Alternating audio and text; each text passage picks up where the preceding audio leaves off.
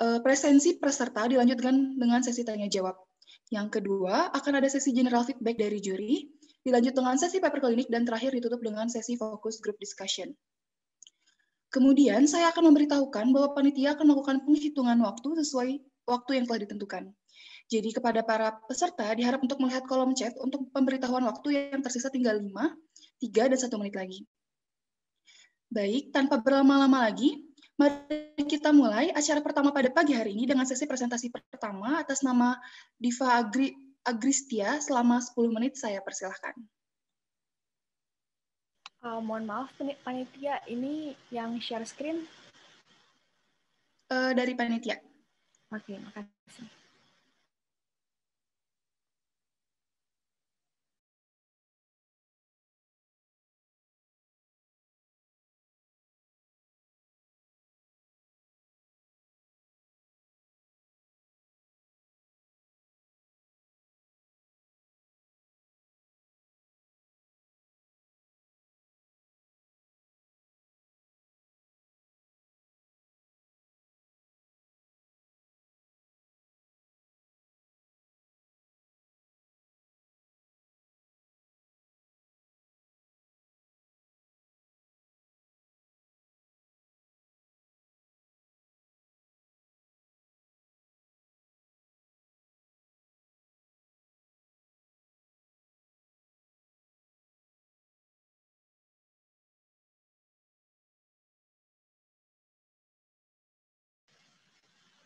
Apakah saya sudah bisa dimulai, panitia? Baik, silahkan.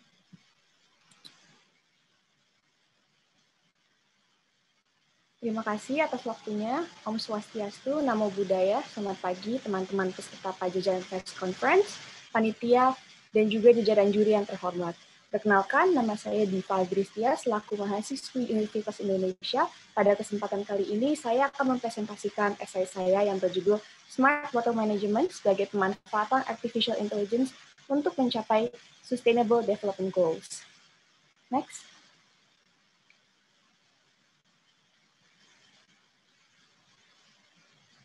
Sebelum membahas topik ini lebih jauh, terdapat beberapa hal yang harus kita pahami yang pertama, apa itu artificial intelligence?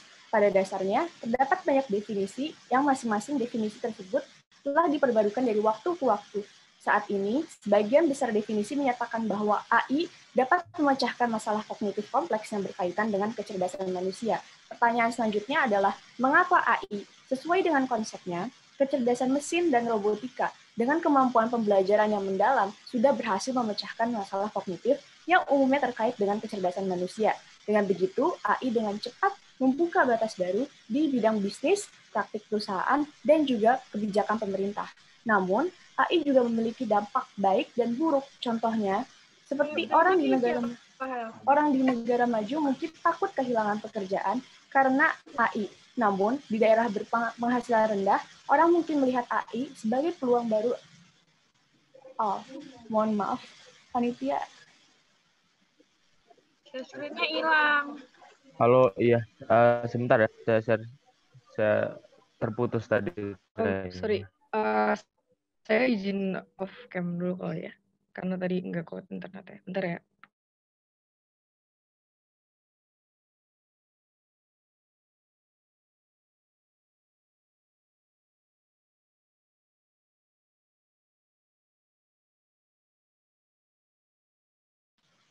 Udah uh, panitia, mo mohon maaf, apakah waktu yang tadi uh, diulang atau gimana ya? Uh, jadi pas waktunya berhenti kayak disconnect, itu di pause dulu waktunya. Nanti dilanjut lagi. Um, Oke, okay. baik, terima kasih. kalau boleh tahu tadi udah berapa menit ya? Uh, tadi satu menit 29 detik. Satu menit 29 detik.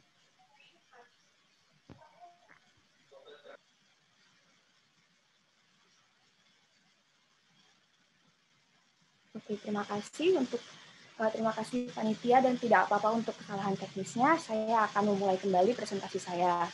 Uh, seperti yang tadi saya katakan, bahwa AI juga memiliki dampak baik dan dampak buruk. Contohnya seperti orang di negara maju mungkin takut kehilangan pekerjaan karena AI, namun di negara berpenghasilan rendah, orang mungkin melihat AI sebagai peluang baru untuk memutus siklus kemiskinan, meskipun teknologi AI belum, belum begitu populer di negara berkembang. Dengan begitu, dapat dikatakan bahwa tidak ada yang bisa lolos dari kebangkitan AI, baik dari segi yang positif maupun negatif. Selanjutnya,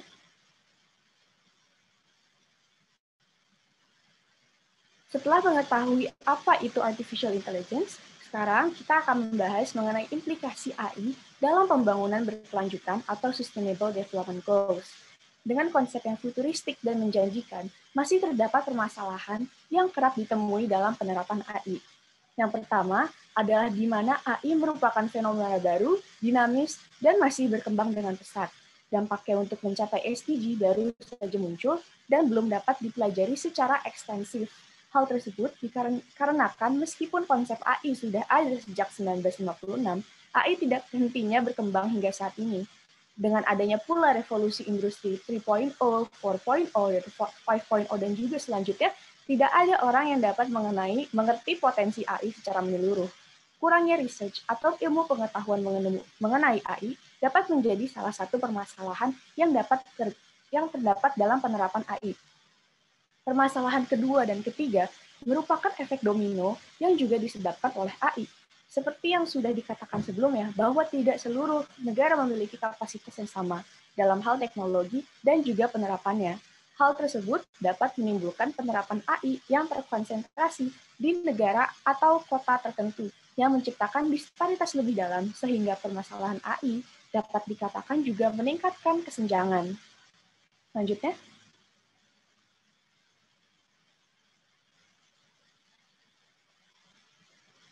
Dalam bagian ini, saya akan memaparkan hubungan antara AI, krisis air, dan krisis air melalui program Smart Water Management.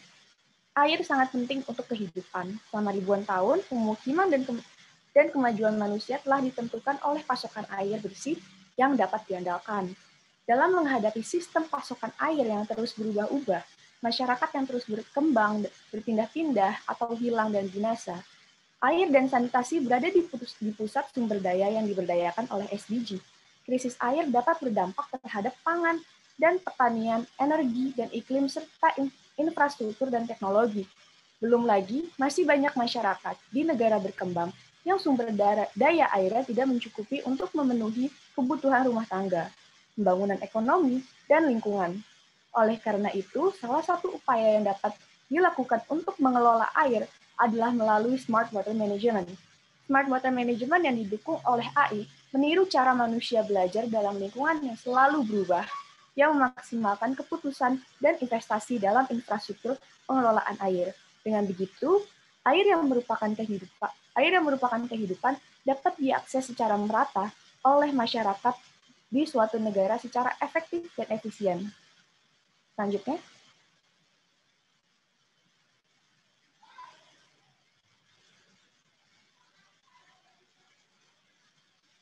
Berikut adalah fakta-fakta yang mendukung atas urgensi untuk menerapkan smart water management.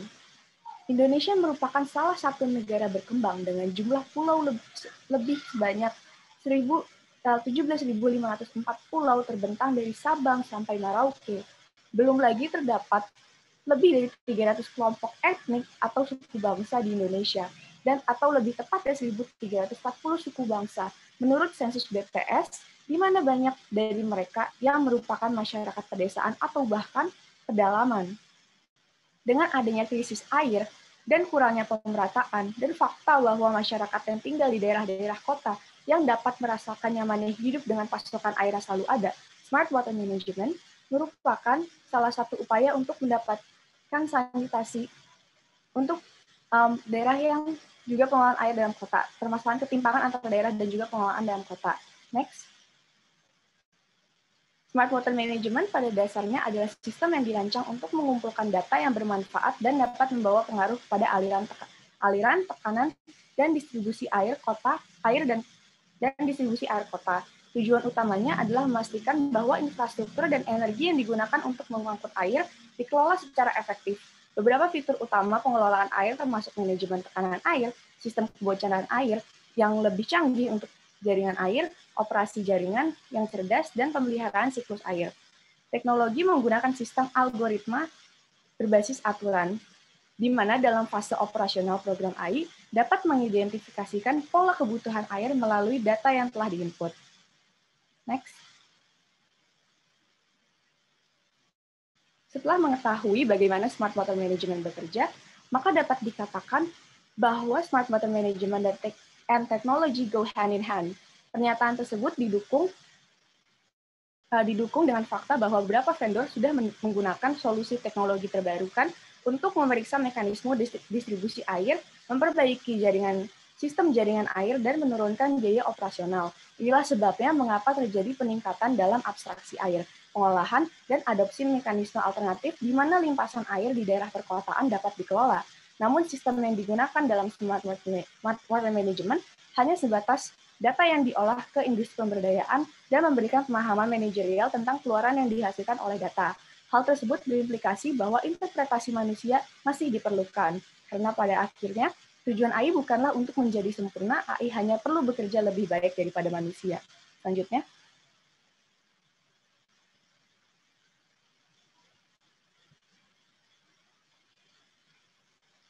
Dalam bagian ini, saya akan memaparkan analisis dari dampak yang disebabkan oleh smart water management. Dari segi kekuatan, smart water management memiliki implikasi yang mendalam bagi Sustainable Development Goals, terutama SDG nomor 10, yaitu pengurangan ketimpangan, dan SDG nomor 12, yaitu konsumsi dan produksi yang bertanggung jawab. Karena Smart Water Management menawarkan sistem pengelolaan air yang berdasarkan data, Adapun kelemahan dari AI adalah bahwa revolusi AI tidak memengaruhi semua orang secara merata, seperti yang sudah dikatakan sebelumnya bahwa penerapan AI bersifat terkonsentrasi di negara dan kota tertentu yang menciptakan disparitas.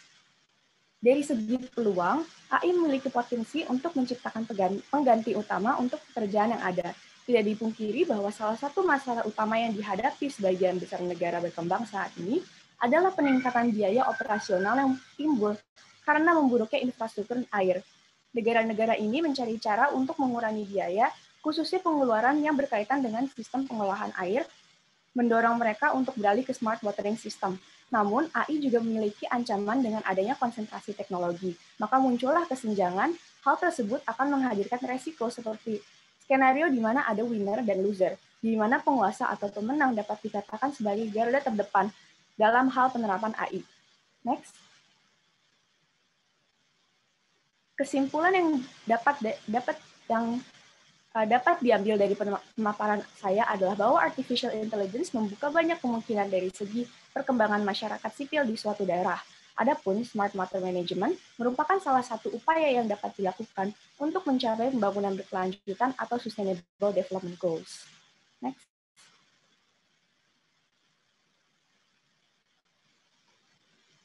Sekian presentasi dari saya. Mohon maaf apabila terdapat kesalahan kata atau ataupun kesalahan teknis. Apakah ada pertanyaan? Baik, terima kasih untuk peserta pertama. Mohon maaf sebesar-besarnya apabila ada kendala teknis sebelumnya. Sesi selanjutnya adalah sesi tanya jawab. Sebelumnya, izinkan saya untuk menyampaikan beberapa peraturan terlebih dahulu. Yang pertama, sesi pertanyaan akan dilakukan selama 10 menit dan sesi pertama akan disampaikan oleh oleh dewan juri. Kemudian saya akan buka sesi pertanyaan bagi para peserta diskusi. Yang kedua, peserta yang ingin bertanya diharuskan menggunakan fitur raise hand pada kolom partisipan terlebih dahulu. Kemudian saya selaku moderator akan menunjuk peserta untuk menyampaikan pertanyaannya. Yang ketiga, peserta mohon tertib dalam menyampaikan pertanyaannya dan uh, tidak menggunakan uh, mic secara on. Kemudian, sesi pertanyaan pertama akan saya buka untuk Dewan Juri, saya persilahkan. Baik, terima kasih saudara moderator. Ya, uh, saudari Diva, Ibu sudah membaca uh, konsep esainya, kemudian Ibu sebetulnya masih mencari sebet, um, uh, apa penjelasan tentang ada masalah apa tentang water management saat ini. Dan Ibu sebenarnya menunggu jawabannya dari slide, tapi tetap belum muncul. Jadi Ibu tanyakan, kira-kira ada masalah apa dengan sistem water management yang ada di Indonesia saat ini? Baik, terima kasih atas pertanyaannya, Bu. Selanjutnya saya persilahkan untuk peserta pertama untuk menjawab pertanyaan yang telah diberikan. Baik, terima kasih atas pertanyaannya Dewan Juri dan juga terima kasih panitia atas waktunya uh, untuk menjawab pertanyaan dari Dewan Juri yang terhormat, apakah ada permasalahan di smart water management di Indonesia yang pertama oh, tentu ada. Ibu, maaf, Bu, sebelum ya. smart waternya ya. Jadi kan smart water itu kan ide yang akan ditawarkan oleh saudara ya. Tapi eh, sebelum smart water itu Anda uh, ajukan, ada permasalahan apa di water management di Indonesia, sistem water management di Indonesia ini? Itu yang ingin Ibu konfirmasi.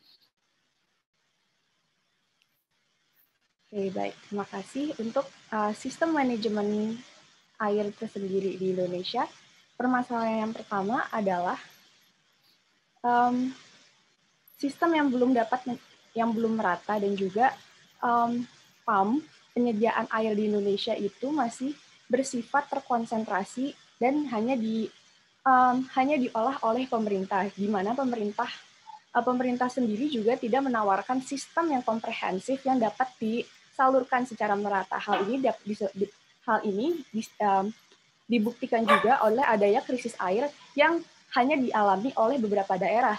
Contohnya seperti Jakarta merupakan pusatnya pusat perkembangan di Indonesia, sehingga banyak dari masyarakat Indonesia yang tinggal di pusat jarang mengalami krisis air karena pasokan air um, terkonsentrasi di Jakarta. Tetapi untuk masyarakat di daerah atau masyarakat yang mungkin jauh dari daerah-daerah terkonsentrasi, mereka um, kerap mengalami krisis air di mana air yang mereka dapatkan tidak tersanitasi ataupun tidak uh, tidak bersih.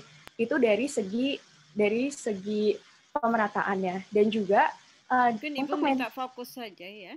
ya. Jadi sekian banyak permasalahan sistem yang ada, kemudian Anda fokus melihat permasalahannya apa sehingga smart water eh, management ini menjadi penting. Jadi sebetulnya permasalahan apa yang menjadi fokus, jangan disebutkan semua. Tapi yang fokusnya yang berhubungan dengan smart water management itu yang di mananya, sehingga Anda mengajukan ini, manajemennya eh, kekurangannya ada di sini, sehingga smart water management ini yang akan Anda ajukan. Begitu maksud Ibu. Bisa dikelirkan? Clear, baik.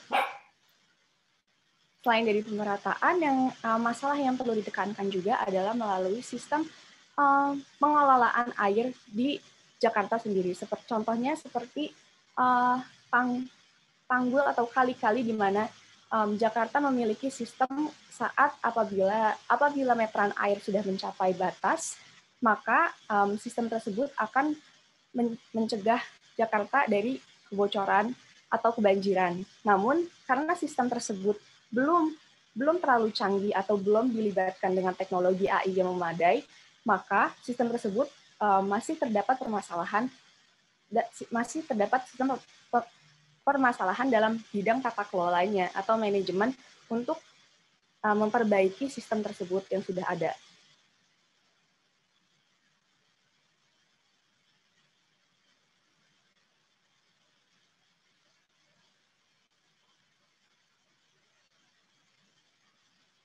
Mohon maaf, Ibu, Ibu masih di mute. Uh, uh, tadi Anda sudah menyebutkan uh, kondisinya bahwa ada rekomendasi dari Anda dengan smart water management. Nah, dari smart water management itu sebenarnya Ibu mengharapkan ada gambaran sistem ya, manajemen yang Anda masukkan sehingga si AI-nya itu di bagian mananya. Nah, mekanismenya bagaimana? Itu uh, mohon konfirmasinya. Karena uh, di skema yang tadi Ibu tidak terlalu bisa jelas menangkap sebetulnya uh, teknologi AI-nya itu sebetulnya untuk menyelesaikan uh, di uh, apa uh, subsistem yang mbak apanya gitu. Silakan. Baik uh, terima kasih. Untuk subsistem, subsistem dari smart water management itu terdapat banyak. Namun yang ingin uh, peran AI adalah di dalam smart watering system di mana AI uh, dapat mengelola air secara real time sehingga air yang disalurkan dari dari pusat dari pusatnya itu dapat di uh, dapat di uh, dapat dilihat atau dikelola secara real time sehingga um, sistem AI itu mengel, um, sistem air dapat memastikan bahwa pasokan air itu terkelola dengan benar, mau itu untuk disalurkan kepada warganya maupun uh, maupun untuk hal yang lain. Jadi inti dari inti dari peran AI dalam smart water management merupakan untuk mengelola atau melihat data-data air, pasokan air secara real time atau secara langsung.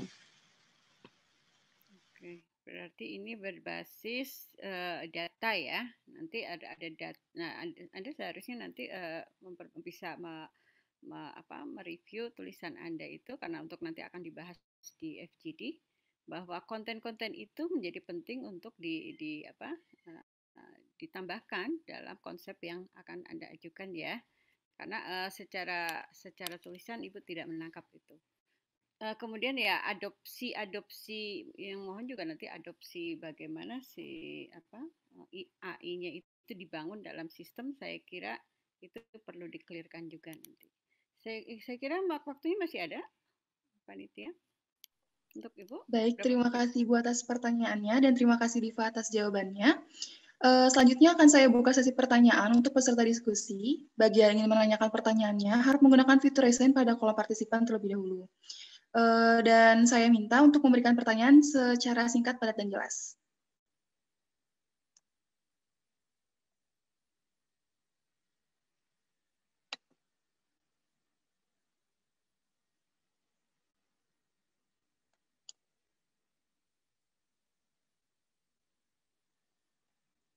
Baik, akan saya hitung sampai tiga untuk memberikan kesempatan bagi peserta diskusi untuk memberikan pertanyaannya. Satu, dua, tiga. Baik, tampaknya tidak ada yang ingin bertanya dari peserta diskusi.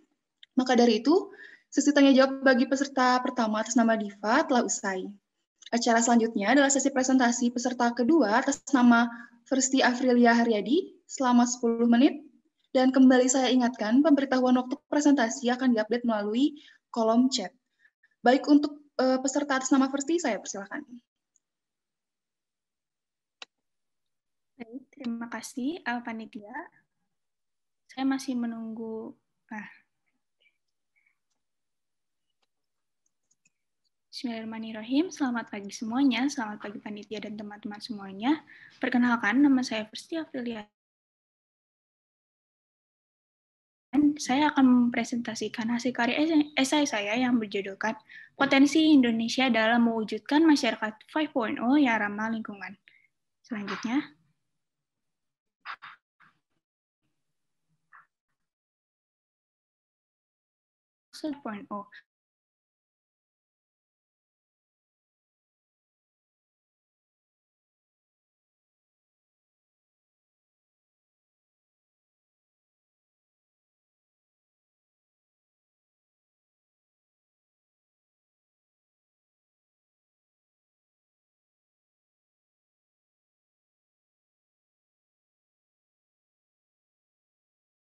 Oh.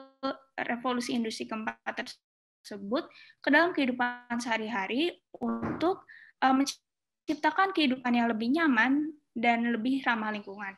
Salah satunya adalah dengan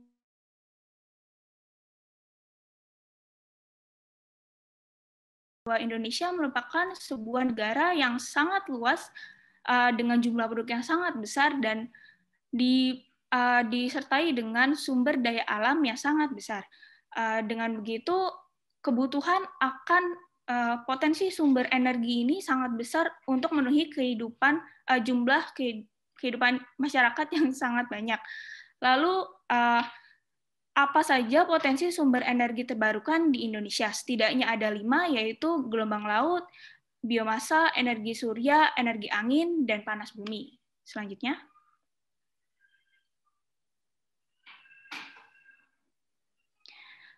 Baik, saya sudah mengumpul, uh, saya sudah menampilkan sebuah data yang saya peroleh dari IESR mengenai 10 wilayah dengan kapasitas energi terbarukan terbesar di Indonesia, yaitu Kalimantan Barat, Papua, dan Jawa Barat sebagai uh, tiga peringkat teratas. Bagi uh, terlebih kita fokuskan kepada Papua yang memiliki potensi uh, sebanyak 26.529 megawatt, namun kapasitas yang terpasang baru 20 megawatt. Sedangkan uh, berdasarkan data yang saya temukan bahwa pada tahun 2020 masih ada 433 desa di Indonesia terutama yang berasal dari Papua yang masih belum memiliki akses terhadap aliran listrik. Hal ini sangat disayangkan mengingat bahwa sangat besar sekali uh, jumlah potensi sumber energi terbarukan yang dimiliki oleh Indonesia. Uh, oleh karena itu uh, diharapkan bahwa pemerintah investor dan uh, masyarakat bisa berke, uh, bisa bekerja sama untuk mewujudkan uh, potensi sumber energi yang dapat dimanfaatkan lebih baik lagi. Selanjutnya. Baik, lalu apa peran IoT, Big Data, dan AI dalam pengimplementasian pembangunan sumber daya energi terbarukan di Indonesia? Uh, yang pertama itu adalah uh, Internet of Things. Internet of Things adalah segala bentuk device atau alat yang bisa saling bertukar data, mengunduh maupun mengupload data, uh, yang kemudian data-data uh, tersebut akan terkumpul dalam suatu big data uh, yang kemudian uh, dapat dibentuk suatu artificial intelligence berdasarkan data-data yang sudah diperoleh uh, oleh IoT dan melalui big data.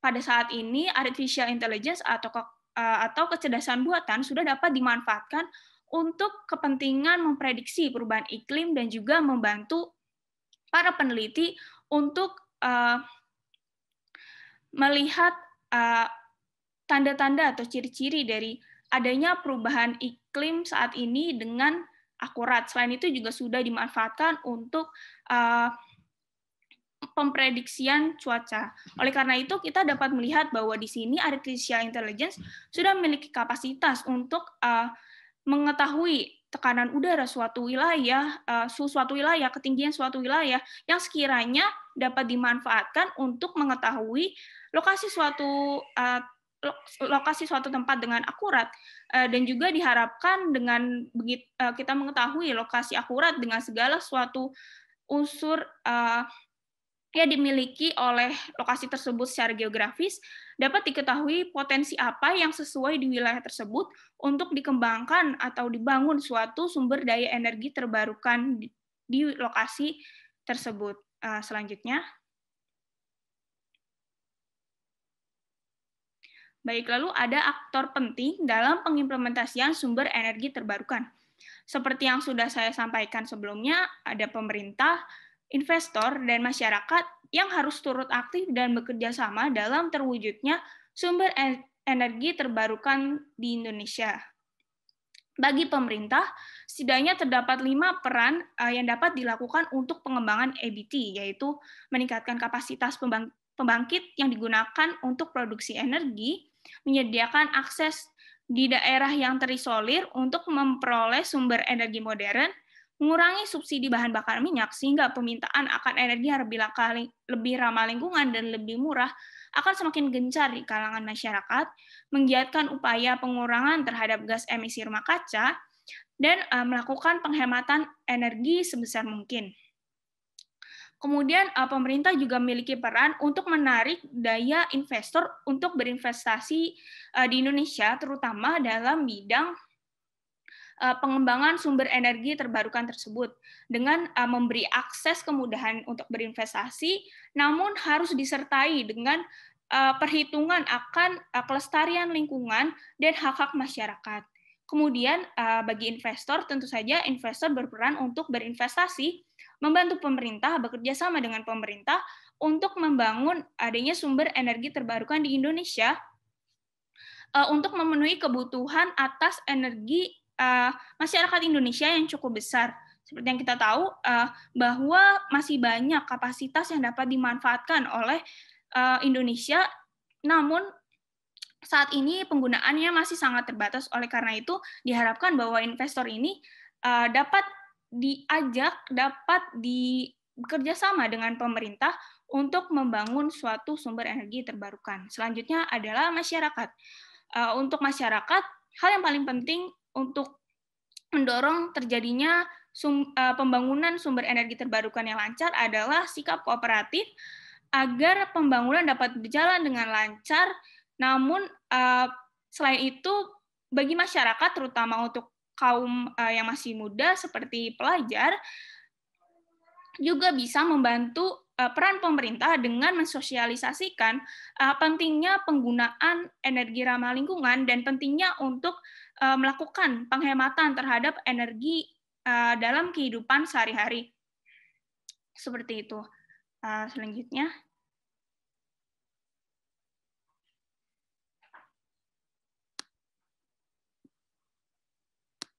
selanjutnya. Baik, uh, sekian presentasi dari saya. Apabila ada pertanyaan, uh, dipersilakan. Apabila ada kesalahan, mohon maaf. Terima kasih. Baik, terima kasih kepada presentan kedua. Sesi selanjutnya adalah sesi tanya-jawab. Pertama, akan saya persilahkan untuk Dewan Juri menyampaikan pertanyaannya. Baik, terima kasih. Saudara Firsti. Ya, uh, dari judul ya. itu mungkin masih uh, sedikit uh, kurang fokus ya. Anda menyebutkan potensi Indonesia uh, dalam mewujudkan masyarakat 5.0. Indonesia punya potensi banyak begitu. Uh, sebetulnya kalau melihat uh, tulisan di dalamnya sih sudah jelas. Tapi Ibu ingin konfirmasi lagi. Sebetulnya potensi Indonesia yang mana yang akan Anda fokuskan untuk pembahasan ini? Uh, untuk pembahasan kali ini saya ingin memfokuskan uh, uh, berdasarkan data yang sudah saya temukan tadi bahwa masih besar sekali kapasitas atas uh, potensi sumber daya energi oh, terbarukan ya, terutama energi, ya. sumber energi terbarukan eh, ini, Bu. Maaf, Apalagi di, energi terbarukan atau ya. energi ramah lingkungan, Ibu minta konfirmasinya yang akan Anda bahas. Uh, energi uh, baru terbarukan Ibu. Hmm, sedangkan di judulnya adalah energi ramah lingkungan karena konsepnya akan berbeda ya. Nah, eh, bisa Anda jelaskan energi ramah lingkungan apa yang akan Anda fokuskan? Uh, bagaimana kalau mungkin ya? Memfokuskannya saya lebih uh, uh, sedalam pemfokusan penggunaan energi ini, uh, saya uh, ber apa ya relay on the artificial intelligence untuk uh, mendeteksi dalam suatu wilayah tersebut uh, potensi energi apa yang cocok untuk dimanfaatkan sehingga penggunaannya tidak uh, terbatas pada suatu waktu tertentu dan dapat berlangsung uh, secara terus-menerus seperti itu. Mm-hmm. Boleh disebutkan satu contoh clearnya bagaimana suatu lokasi wilayah mempunyai suatu potensi uh, sumber energi yang ramah lingkungan, misalkan bisa? Uh, sebagai contoh, untuk di wilayah pesisir atau di sekitar wilayah pantai dapat menggunakan sumber energi yang uh, berdasarkan oleh gelombang laut misalnya. Dengan begitu uh, sumber energi ini bisa dengan mudah dimanfaatkan dan juga cocok dengan wilayah tersebut. Tidak tidak tidak condong jauh gitu. Misalnya kalau misalnya di suatu wilayah pesisir menggunakan energi uh, yang lain, misalnya angin, belum tentu uh, energi angin itu dapat uh, dimanfaatkan terus-menerus. Mungkin penggunaannya akan terbatas. Oleh karena itu, suatu wilayah pesisir akan lebih cocok untuk uh, menggunakan energi yang berdasarkan oleh uh, gelombang laut baik, seperti itu. Baik dari situ Ibu belum melihat juga dari ide Anda secara clear, dari Anda sudah benar memetak, ada pemetaan ya, ada pemetaan wilayah-wilayah dengan potensi uh, apa masing-masing uh, uh, sumber energinya. Tetapi Ibu juga belum clear bagaimana dengan karakter masing-masing wilayah yang berbeda dan energi yang berbeda-beda, uh, konsep artificial intelligence atau big data yang menjadi tema dari apa diskusi nanti itu itu bisa di anda anda munculkan gitu. Kira-kira bagaimana uh, ide anda bisa masuk ke situ? Uh, seperti yang tadi saya sampaikan bahwa ide saya adalah memanfaatkan informasi-informasi uh, yang sudah terkumpul di dalam big data yang diperoleh melalui IoT yang kemudian akan uh, dimanfaatkan untuk pembentukan suatu artificial intelligence. Sehingga artificial intelligence ini dapat memiliki data-data yang cukup lengkap dan uh, mendukung pembangunan suatu alat atau mesin um, yang dapat mendeteksi potensi sumber energi terbarukan uh, yang dapat diandalkan oleh suatu wilayah tersebut, Ibu. Satu lagi mungkin ya, dari tadi men menyebutkan Anda menyebutkan tiga aktor yang berperan dalam perencanaan ya. uh, apa rencana untuk uh, masyarakat 5.0 ini. Uh, tadi disebutkan uh, masyarakat itu bisa mensosialisasi gitu. Tapi Ibu ingin lebih lebih mendapatkan suatu apa jawaban yang lebih uh, apa atraktif ya dari Anda sebagai mahasiswa yang masuk sebagai kategori masyarakat ya. Selain hanya sekedar uh, uh, bersosialisasi, ada ide apa yang bisa Anda munculkan atau Anda bisa mengajukan sebagai ini suatu konsep yang real bisa dilakukan minimal di wilayah sekitar ya, kalau anda dari Unpad mungkin sekitar jauh, uh, Jatinangor atau Sumedang gitu. Yang real-real saja. Boleh anda berikan rekomendasi uh, baik uh, untuk uh, saya akan menyesuaikan dengan uh, perkembangan zaman saat ini yang sedang ngetren itu uh, berbagai macam tantangan atau challenge di sosial media. Mungkin uh, kita dapat memanfaatkan dengan challenge-challenge ini untuk uh, menggunakan energi lebih sedikit atau uh, menghemat energi untuk mendorong orang-orang uh, di sekitar untuk melakukan uh, penghematan energi dan kita juga melalui challenge tersebut kita akan menyampaikan bahwa uh, manfaat apa saja yang harus eh yang dapat dimanfaatkan yang dapat diperoleh apabila kita melakukan uh, suatu tindakan penghematan energi seperti itu ibu. Ya, ya.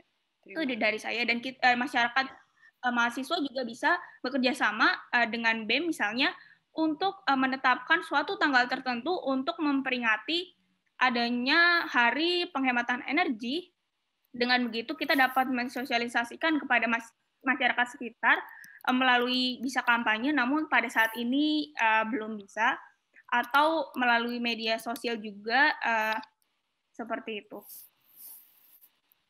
Baik, terima kasih Panitia. Cukup dari saya. Baik, terima kasih atas pertanyaan dan jawabannya. Sesi selanjutnya adalah sesi tanya jawab bagi para, bagi para peserta diskusi. Bagi yang ingin menanyakan pertanyaannya, harap menggunakan fitur raise hand terlebih dahulu pada kolom partisipan. Bagi yang ingin bertanya, saya persilahkan.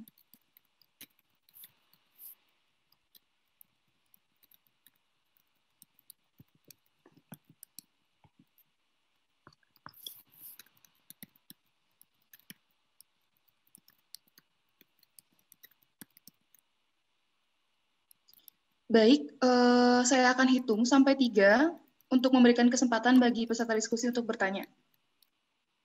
Satu, dua, tiga. Halo, kakak.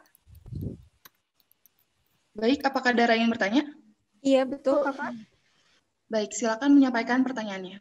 Iya, terima kasih atas kesempatannya. Saya sebenarnya tadi sudah raise hand, tapi ternyata nggak kedetek atau kayak gimana uh, pertanyaan saya kepada Firsty, aku mau nanya yang so saya mau nanya yang soal ini tadi di essay kamu tuh menyatakan bahwa artificial intelligence itu harus digunakan dalam optimalisasi penggunaan energi baru terbarukan dan atau energi ramah lingkungan. Tapi sekarang itu kan kamu juga uh, saudara juga menjelaskan tentang bagaimana pentingnya sinergisitas antara badan usaha atau investor dengan pemerintah dan masyarakat. Artinya itu menempatkan posisi pengelolaan uh, energi kita itu pada public private partnership Nah, pertanyaannya adalah bagaimana kamu bisa menjamin akan uh, terjadinya sinergisitas tersebut di saat yang sekarang saja dalam pengelolaan energi baru terbarukan panas bumi itu mengalami kegagalan pada tahap eksplorasinya. Misalkan kita bicara soal di Dieng. Uh, di wilayah kerja Dieng, di wilayah kerja Pasaman Sumatera Barat, di wilayah kerja uh, panas bumi di Parompong Jawa Barat itu membuktikan bahwa penggunaan artificial intelligence yang hari ini itu belum dapat menjawab tantangan kita untuk pengelolaan energi yang jauh lebih komprehensif dan kontinu. Terima kasih.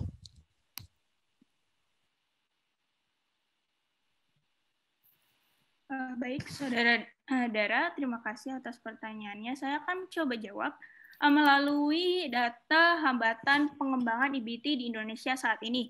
Berdasarkan presentasi yang disampaikan uh, kemarin oleh Bapak Muhammad uh, Fatah bahwa hambatan pengembangan IBT di Indonesia itu ada tiga setidaknya yaitu kebijakan pemerintah dengan alokasi anggaran yang belum memihak, penggunaan instalasi produ produser EBT belum efisien, dan uh, masyarakat belum siap atau familiar dengan adanya energi uh, terbarukan. Nah, jika kita dilihat di sini, uh, mungkin kegagalan dalam pemanfaatan sumber energi terbarukan itu masih ada karena keterbatasan pendanaan dari pemerintah dan kurangnya perhatian pemerintah atas alokasi dan pentingnya penggunaan energi ramah lingkungan ini. Jadi uh, masih banyak kekurangan-kekurangan yang sampai hari ini di uh, dialami dalam penggunaan sumber energi yang ramah lingkungan seperti itu. Baik, apakah sudah selesai jawabannya peserta atas nama versi? Sudah. Baik. Terima kasih kepada para peserta diskusi atas pertanyaannya. Mohon maaf karena waktu sesi tanya jawab bagi peserta kedua telah habis, maka kita akan melanjutkan pada sesi acara selanjutnya. Baik, sesi selanjutnya adalah presentasi dari peserta ketiga atas nama Milenia Agatha selama 10 menit. Kembali saya ingatkan, pemberitahuan waktu presentasi akan diupdate, melalui kolom chat. Baik, untuk Milenia Agatha, saya persilahkan. Baik, eh, terima kasih atas kesempatannya. Assalamualaikum warahmatullahi wabarakatuh. Sebelumnya saya akan eh, terima berterima kasih kepada Dewan Juri dan juga kepada panitia atas waktunya. Saya akan menyampaikan presentasi saya mengenai pemanfaatan artificial intelligence dalam uh, pemetaan dengan menggunakan drone pada wilayah yang akan digunakan sebagai pembangunan pembangkit listrik tenaga mini hidro atau yang disebut juga dengan PLTM. Oke, okay, next.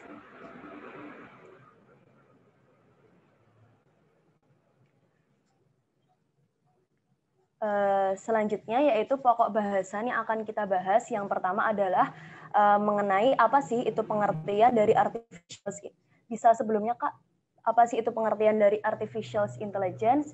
Yang kedua adalah apa yang disebut juga dengan sumber energi eco-friendly yang ketiga adalah mengenai pembangkit listrik tenaga mini hidro, dan yang keempat adalah pemanfaatan artificial intelligence dalam pemetaan pembangkit listrik tenaga mini hidro.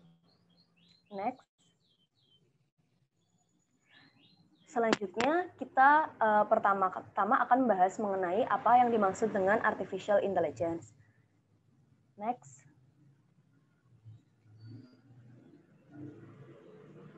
Jadi artificial intelligence merupakan suatu teknologi yang memiliki kemampuan untuk membuat komputer mampu menirukan cara berpikir dan bertindak seperti layaknya yang dilakukan oleh manusia. Jadi artificial intelligence ini merupakan suatu kecerdasan buatan yang berbeda dengan kecerdasan alami yang dimiliki oleh manusia.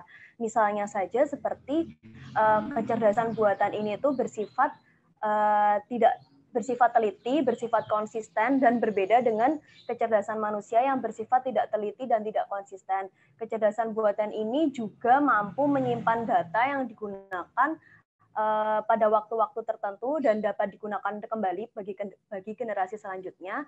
Sedangkan kecerdasan alami itu uh, sifatnya karena dilakukan oleh manusia maka tidak dapat uh, disimpan dalam jangka waktu yang lama. Kemudian artificial intelligence sendiri juga dapat digunakan dalam berbagai hal seperti dalam robotika, financial planning, kemudian dalam hal engineering, medical system dan sebagainya. Nah, eh, fungsi dari artificial intelligence ini terutama adalah dalam rangka menganalisis big data dan juga mengolah informasi. Sedangkan tujuan uh, diterapkannya artificial intelligence sendiri adalah dilakukan dalam rangka mempercepat waktu pengerjaan dalam analisis big data tersebut dan juga uh, melakukan efisiensi dari pekerjaan-pekerjaan yang dilakukan manusia. Next.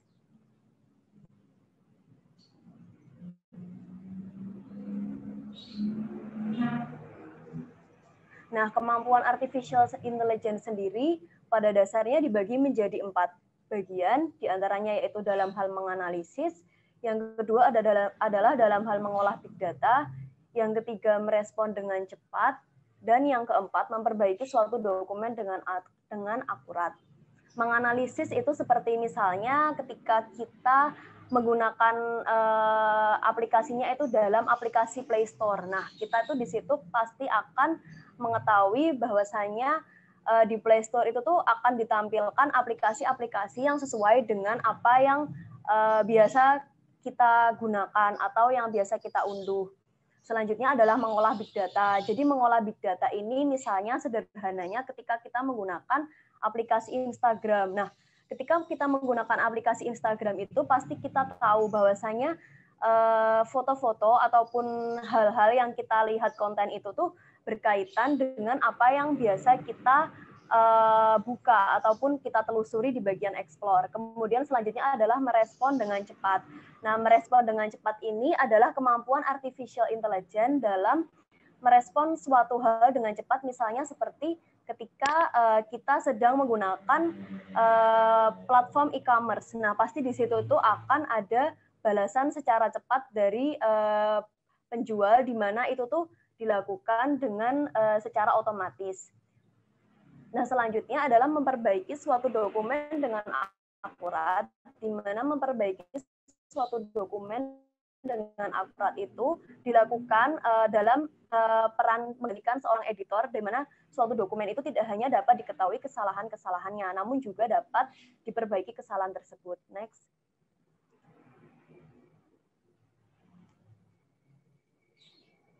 Nah, keunggulan artificial intelligence yang pertama adalah bersifat permanen, yang kedua adalah menawarkan kemudahan, yang ketiga bersifat konsisten dan teliti, serta yang keempat itu dapat disimpan. Next.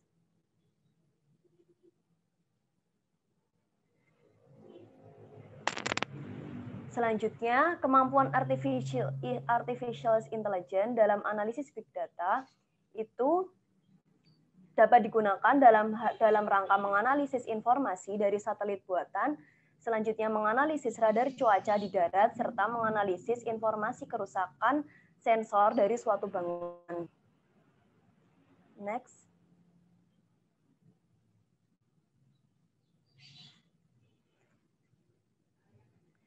Yang selanjutnya kita akan membahas mengenai uh, pemanfaatan AI dalam uh, energi eco-friendly ini sendiri. Jadi energi eco-friendly atau yang disebut juga dengan energi yang ramah lingkungan dan terbarukan merupakan kelompok energi yang dapat diperbaharui, cenderung tak terbatas, tidak memberikan efek gas rumah kaca, serta tidak memberikan kontribusi terhadap perubahan iklim dan potensi pemanasan global. Jadi seperti kita tahu bahwasanya eh, sifat-sifat uh, yang dimiliki energi eco-friendly seperti meng, uh, tidak menghasilkan dampak terhadap lingkungan, kemudian tidak memberikan polusi dan kesediaan ketersediaannya yang tidak terbatas itu menjadikan bahwasanya energi eco-friendly ini merupakan potensi energi yang uh, harus uh, digunakan secara terus-menerus karena uh, ketersediaannya uh, yang tidak terbatas ini dapat dimanfaatkan dalam berbagai hal dan berbagai, berbagai bidang. Next. Nah, uh, sumber energi eco-friendly ini sendiri di antaranya yaitu seperti dari air, kemudian mat sinar matahari, kemudian ada angin, panas bumi, dan biomasa. Next.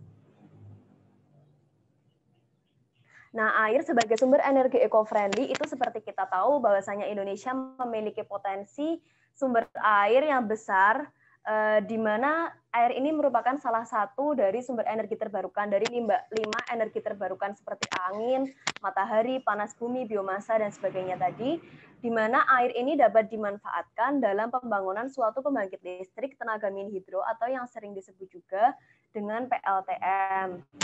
Berbeda dengan sumber energi terbarukan lainnya, air itu akan terus menghasilkan tenaga non-stop dan ketersediaannya akan dihasilkan dari siklus hidrologi yang dihasilkan oleh alam. Next.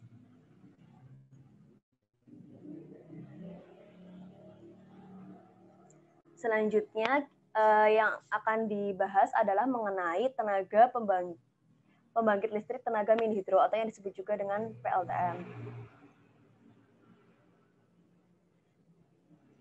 maaf sebelumnya.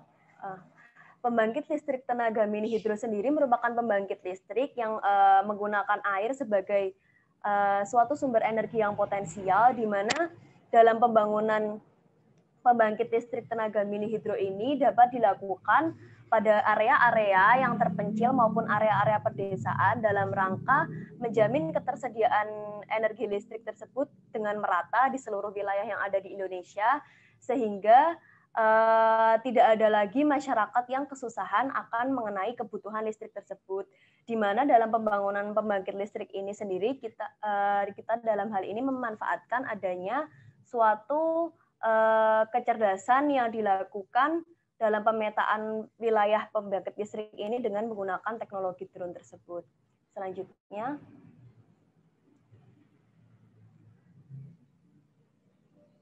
Nah, keunggulan PLTM sendiri adalah sumber energi listrik yang andal, dampak seminimal mungkin terhadap lingkungan, sumber energi yang efisien, ramah lingkungan dan terbarukan dan terjangkau. Next.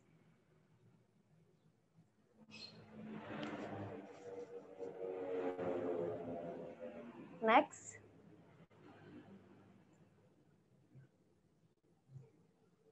Sel Next. Uh, next lagi.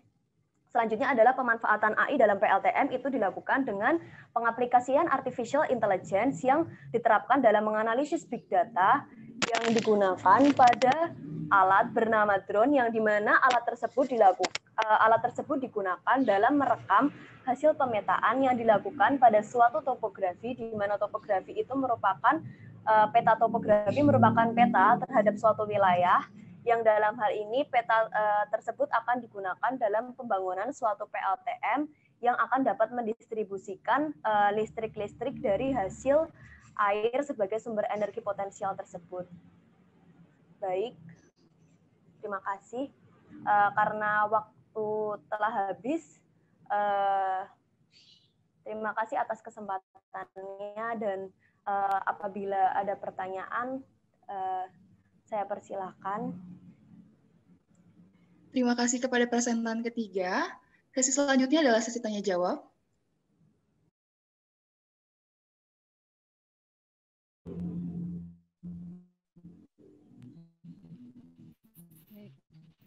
kasih untuk dari teknologi PLTM ini ya. PLTM ini potensial tidak di Indonesia ini? Uh, maaf apabila saya boleh ulang uh, potensial energi PLTM itu tadi ya Bu ya uh, ener, uh, dari sekian banyak sumber energi yang ada, Anda uh, memilih uh, kajian tentang pembangkit listrik tenaga mini hidro ya. Ya. Uh, dengan ya uh, atas dasar apa mengambil PLTM itu dan ibu ingin menanyakan potensinya seberapa besar gitu maksudnya dibanding sumber energi yang lain. Uh, baik, saya akan menjawab pertanyaan uh, mengenai potensi energi PLTM di Indonesia. Seperti kita tahu bahwasanya air itu merupakan sumber energi yang sangat besar di Indonesia, terutama di daerah pesisir, di mana apabila listrik itu ketersediaannya belum merata, terutama di daerah-daerah pinggiran, daerah-daerah pedesaan, yang sangat berbeda dengan daerah perkotaan yang sudah uh, dijangkau dengan aliran listrik yang uh, sudah merata. Sehingga kita uh, mampu menggunakan uh, potensi air ini yang ketersediaannya melimpah ini dapat digunakan dalam pembangunan PLTM dalam rangka menjangkau uh, ketersediaan listrik di daerah-daerah tersebut karena uh, apabila tidak dimanfaatkan itu kita uh, sangat rugi dengan adanya potensi air tersebut sebagai sumber energi yang terbarukan. Begitu, Bu? Ya, uh, sebetulnya memang potensinya besar ya. Tetapi ya, tadi uh, uh, di tulisan Anda, di essay Anda belum clear menunjukkan juga uh, dari permasalahan itu, uh, uh, dari kondisi itu ada permasalahan besar gitu. permasalahan besar adalah di data sebetulnya ya, yang untuk melihat uh, peta-peta wilayah yang ada sumber airnya dan itu bisa dijadikan sebagai uh, sumber PLTM gitu. Itu mungkin perlu dikelirkan nanti ya. Hanya uh, setelah setelah Anda menyebutkan potensi yang besar, hmm, Anda mengajukan suatu teknologi dengan drone ya. Ini sebenarnya drone itu sudah biasa juga sih sebetulnya. Eh, data yang direkam oleh drone itu kemudian akan menjadi informasi database yang bisa memetakan ya. Ya. Ya. Nah, setelah mendapatkan data yang ada, ini yang belum uh, Ibu minta uh, informasi juga dari Anda. Uh, uh, ide Anda itu bagaimana pada saat drone ini sudah punya database besar, data itu bentuknya bagaimana dan bagaimana menerjemahkannya supaya Anda bisa merekomendasikan sebagai uh, uh, apa wilayah-wilayah uh, yang layak untuk dijadikan PLTM ini. Uh, data yang dihasilkan oleh drone itu nanti hasilnya nah wilayah tersebut itu uh, seperti kita tahu wilayah tersebut pasti memiliki berbagai kriteria sebagai kriteria yang akan digunakan dalam pembangunan suatu PLTM sehingga wilayah tersebut uh, perlu apa ya namanya perlu direkam dan juga perlu diketahui uh, dari potensi wilayah tersebut sehingga hasil rekaman tersebut pada nantinya akan digunakan dalam analisis serta dalam uh, pengolahan data terkait uh, proses pembangunan dari suatu PLTM tersebut. Anda dari UPN, uh, jurusannya apa? Uh, dari hubungan internasional. hubungan internasional. Jadi nanti mungkin yeah. bisa diskusi dari tim geologi gitu ya. Yeah. Iya. Data-data parameter apa dari karakter topografi ini yang perlu direkam oleh drone itu, yang perlu kita input dalam sistem AI yang ada dalam uh, di drone itu ya. Jadi itu uh, tidak muncul di presentasi, juga tidak muncul di konsep tulisan Anda. Saya kira itu cukup uh, panitia. Uh, pertanyaan dari Ibu? Baik, terima kasih Bu. Terima kasih Bu atas pertanyaannya. Selanjutnya akan saya buka sesi tanya jawab bagi para peserta diskusi. Bagi yang ingin menanyakan pertanyaannya, harap menggunakan fitur SN pada kolom partisipan terlebih dahulu. Baik, tampaknya uh, atas nama Diva Gristia, apakah Anda ingin bertanya? Uh, iya, terima kasih Panitia. Apakah saya boleh menanyakan pertanyaan saya sekarang? Baik, silahkan. Uh, terima kasih Saudara Miledia atas presentasinya. Uh, mungkin karena waktunya sudah habis sebelum presentasi selesai, saya ingin menanyakan siapa saja aktor yang akan menjalankan program ini dan apakah pemerintah sebelumnya sudah mendukung penggunaan drone dalam pemanfaatan uh, energi tersebut? Terima kasih. Baik, uh, saya akan menjawab mengenai uh, atas pertanyaan saudari Diva. Eh, mengenai aktor-aktor yang terlibat dalam proses pembangunan PLTM sendiri. Seperti kita tahu bahwasanya aktor yang terlibat di antaranya seperti masyarakat, kemudian uh, aktor yang terlibat juga pemerintah, serta uh, aktor yang terlibat lainnya seperti di antaranya uh, adalah teknisi-teknisi yang uh, tergabung uh, dalam proses pembangunan uh, PLTM ini sendiri. Seperti kita tahu bahwasanya uh, pemerintah itu berperan dalam rangka mendukung eh, program-program uh, serta uh, pemerintah berperan dalam rangka uh, menjalankan uh, pemerintah ber, berperan dalam rangka mengatur serta uh, memimpin uh, me, melakukan melakukan pengaturan terhadap proses uh, pengerjaan PLTM yang dilakukan ini di, mana dalam proses pembangunan ini kita memerlukan dukungan dari masyarakat. Uh, seperti yang kita tahu bahwasanya pembangunan PLTM di daerah-daerah terpencil ini kita membutuhkan uh, partisipasi dari masyarakat untuk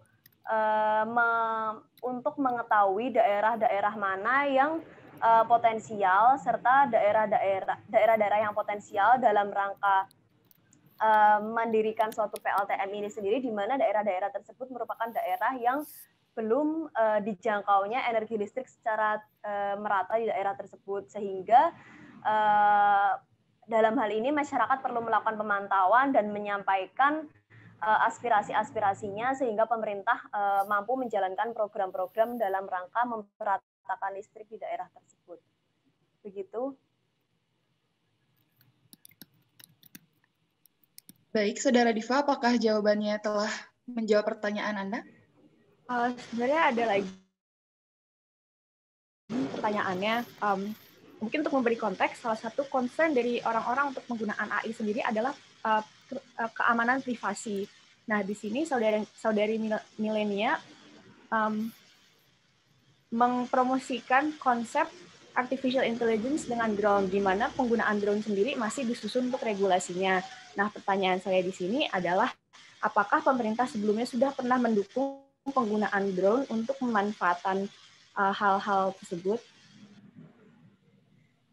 Uh, baik, uh, sebelumnya memang drone merupakan suatu alat yang uh, masih uh, diragukan untuk dalam hal privasinya, namun uh, dalam dalam dalam suatu pemetaan PLTM ini sendiri, uh, drone ini sangat diperlukan. Karena seperti yang kita tahu untuk mengukur luasan wilayah yang sangat besar itu uh, akan sangat terbatas apabila seca dilakukan secara manual dengan manusia uh, dengan pekerjaan yang dilakukan oleh manusia sehingga memerlukan suatu teknologi yang uh, disebut dengan drone ini di mana drone itu nanti akan merekam uh, wilayah sehingga drone tersebut uh, akan melakukan uh, akan menggantikan pekerjaan yang dilakukan oleh manusia dengan memanfaatkan memanfaatkan artificial intelligence uh, di mana uh, pemerintah uh, sebelumnya belum mengatur uh, lebih jelas mengenai uh, penggunaan drone ini, namun secara umum uh, dikarenakan kemudahan penggunaan drone ini, uh, kita sudah tahu bahwasanya sudah banyak teknologi drone ini digunakan uh, dalam berbagai sektor di Indonesia. Baik, terima kasih atas pertanyaannya dan jawaban dari Saudara Milenia. Uh, sesi tanya jawab bagi presentan ketiga telah, habis. Telah habis.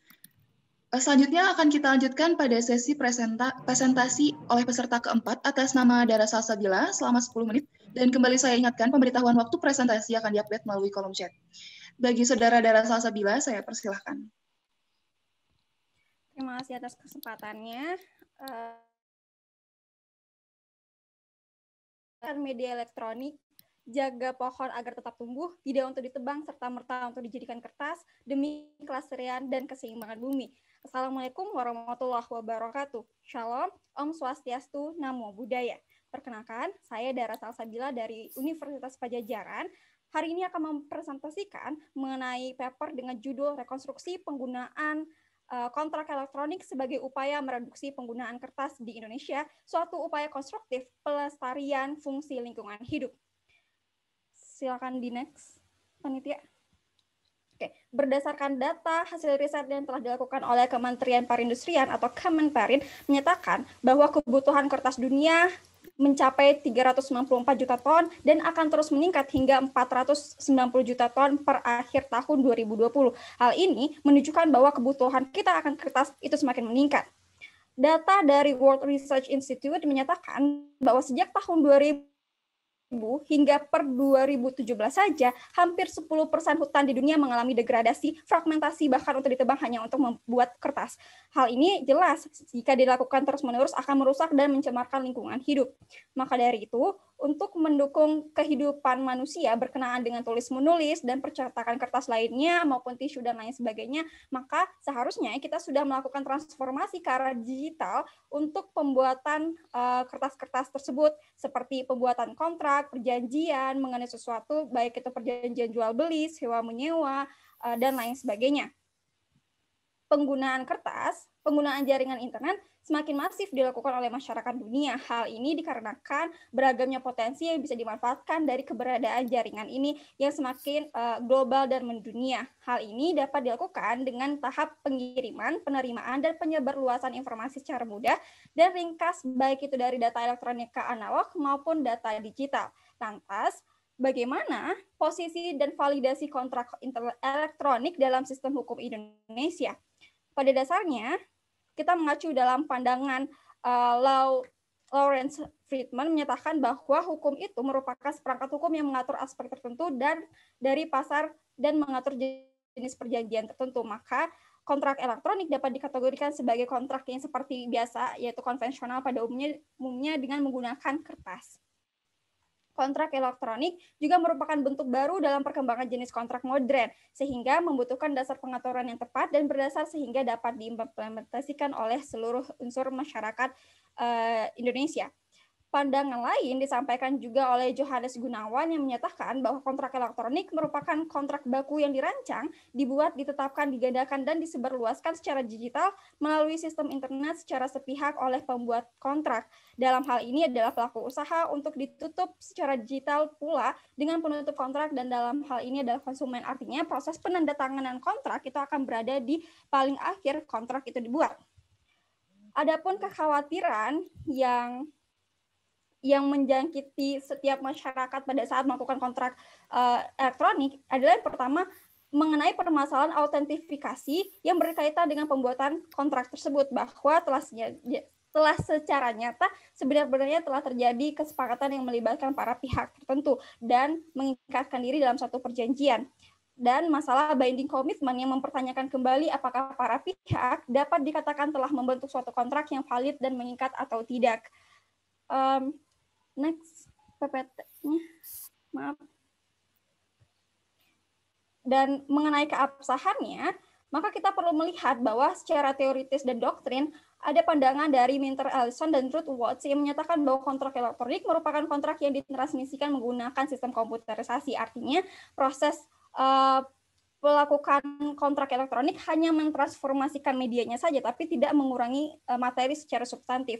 Selain itu, menurut Edmond Makarim dan Deliana, perhubungan hukum yang dilakukan secara elektronik dengan memadukan jaringan dan sistem informasi berbasis komputer dengan sistem komunikasi yang berdasarkan atas jaringan dan jasa telekomunikasi keberadaan komputer global internet. Artinya, uh, jalan dengan pandangan Minter Elson yang menyatakan bahwa kontrak elektronik hanya mentransformasikan Lantas bagaimana dengan sistem hukum uh, di Indonesia untuk menanggapi mengenai kontrak elektronik? Yang pertama, kita bisa melihat dalam pasal 1313 Kitab Undang-Undang Hukum Perdata yang menyatakan bahwa kontrak harus terdapat kesepakatan kehendak etikat baik, tidak boleh bertentangan dengan kebiasaan yang ada, kontrak yang diselenggarakan berdasarkan azas kepatutan, kontrak dan uh, tidak melanggar kepentingan umum sebagaimana yang dinyatakan juga dalam pasal 1320 KUHP.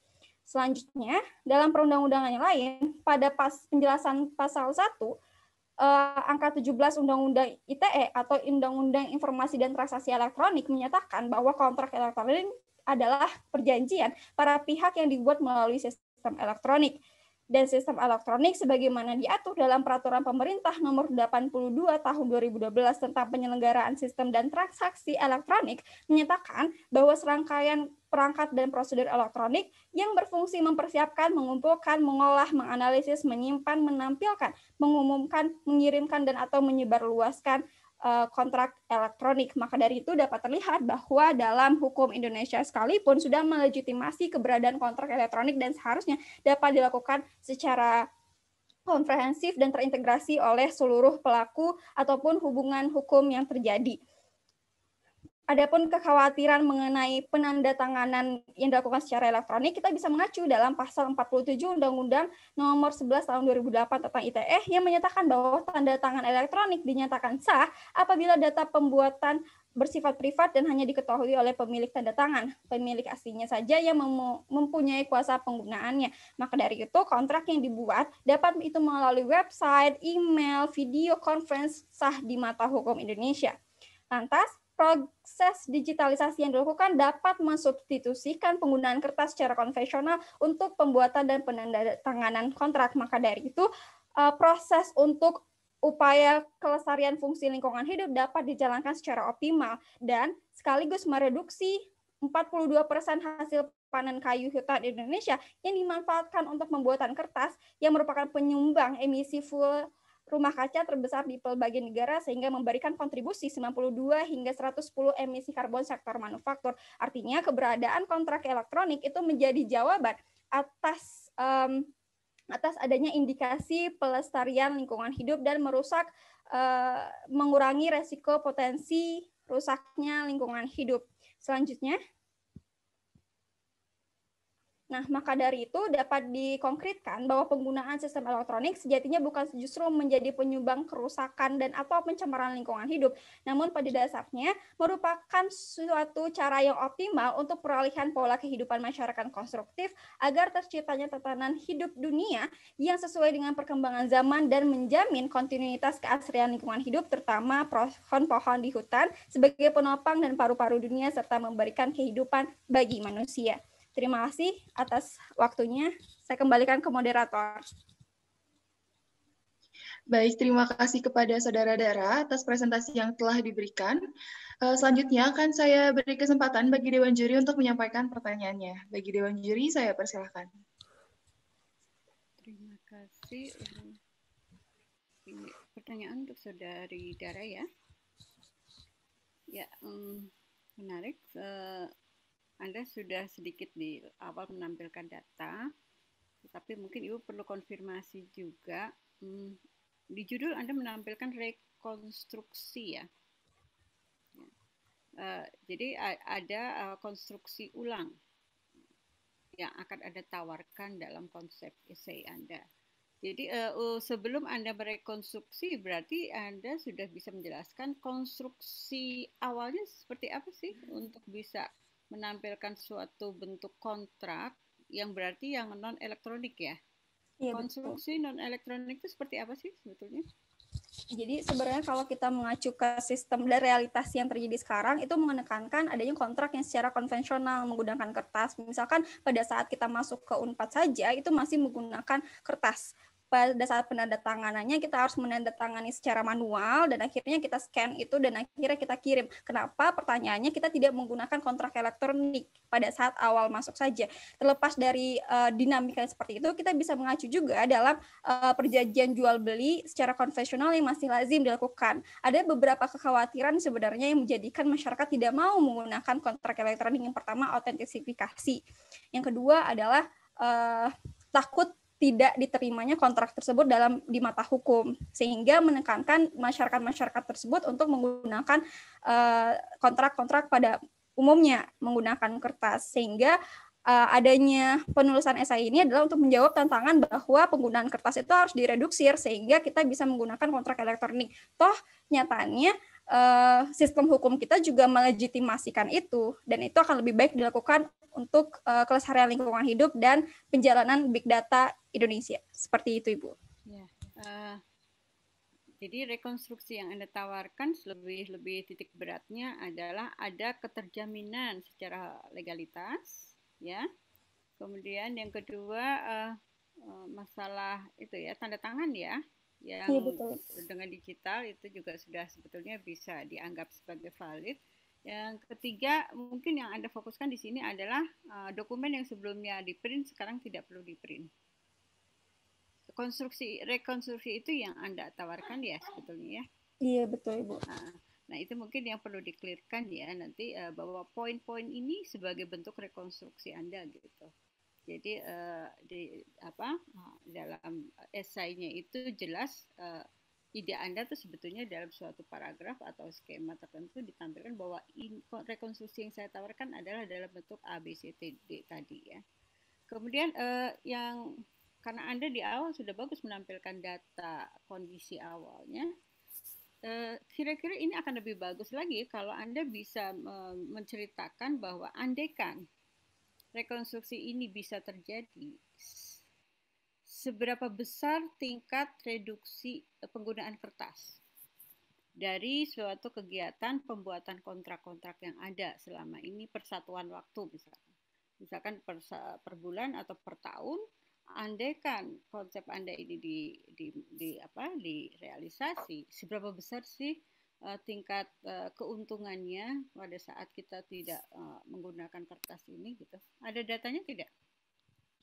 Uh, sejujurnya saya belum nemu data yang mengenai itu Bu karena sebenarnya masyarakat yang menggunakan kontrak itu juga tersebar. Jadi misalkan akan lebih gampang kalau instansi-instansi pemerintah atau swasta yang melakukan kerjasama. Tapi bagaimana kalau masyarakat-masyarakat pada umumnya yang mengadakan kontrak jual beli dan itu tuh kadang tidak terdeteksi bu. Adapun data itu cuma berbasis pada generalisasi penggunaan kertas belaka gitu bu menurut saya. Jadi saya belum dapat informasinya bu. Ya mungkin ini yang yang uh, perlu di, di, di, dicari tahu ya untuk meyakinkan bahwa sebenarnya tidak ada masalah kalau menggunakan itu dan saya kira uh, Anda juga harus memunculkan bahwa impact-nya itu kalau strategi ini dilakukan tuh luar biasa sekali gitu. Uh, ini kan ramah lingkungan dan sebagainya begitu ya. Jadi bisa memperkuat konsep uh, sederhana sebetulnya konsep sederhana ini hanya sebenarnya masalah printing tidak printing kemudian ada sosialisasi legalitasnya sudah aman begitu ya tapi lebih bagus lagi kalau memang ada informasi. Bagaimana caranya itu mungkin bisa jadi kajian Anda selanjutnya ya. Mendapatkan hmm. data uh, seberapa banyak sih terjadi proses kontrak di Indonesia ini gitu ya. Dari tingkat mungkin di tingkat wilayah kecil, di tingkat wilayah bisa dimodelkan di tingkat wilayah besar sehingga di Indonesia atau basisnya mengambil fokus uh, apa uh, instansi-instansi berbasis kontrak itu bisa dijadikan model gitu. Ambil skupnya 10 persennya saja Anda bisa memproyeksikan, saya kira bagus sekali. Ya, terima kasih. Ya. Cukup panitia. Baik, terima kasih atas pertanyaannya Bu dan terima kasih kepada saudara Dara atas jawabannya. Selanjutnya akan saya buka sesi pertanyaan untuk para peserta diskusi. Bagi yang ingin menanyakan pertanyaannya, harap menggunakan fitur raise hand terlebih dahulu di kolom partisipan. Bagi yang ingin bertanya, saya persilahkan.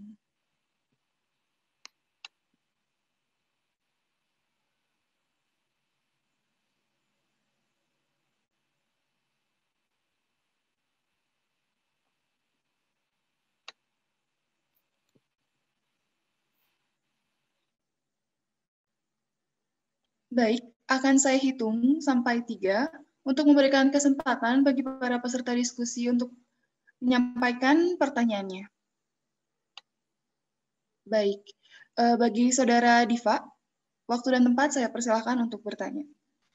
Terima kasih untuk saudari Dara atas presentasinya dan juga konsep yang eh, kebetulan saya baru dengar. Eh, mungkin untuk menanyakan latar belakang dan urgensi dari e-contract ini, apakah um, saudari Dara uh, dapat mengatakan apa saja urgensi dari penggunaan e-contract dan apakah um, dan penggunaan kertas untuk dalam arti meng, untuk uh, mengisi kontrak apakah uh, itu menyumbang berapa banyak sampah kertas ya sehingga e-contract itu merupakan menjadi sebuah urgensi. Terima kasih.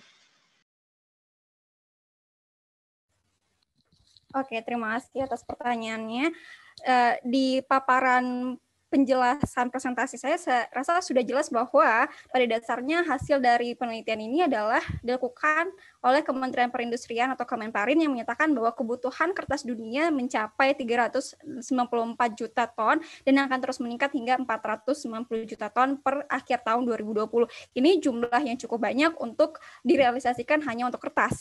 Dan data dari World Research Institute menyatakan bahwa sejak tahun 2000 saja hingga tahun 2017 terdapat terdapat 10% hutan mengalami degradasi, fragmentasi, bahkan ditebang untuk pembuatan kertas. Artinya ini menunjukkan adanya potensi deforestasi yang cukup uh, masif dilakukan oleh pelaku usaha maupun uh, pemerintah dalam memproduksi kertas. Bukankah ini merupakan bentuk urgensitas bahwa kita harus melakukan transformasi terhadap kontrak elektronik sesederhana itu?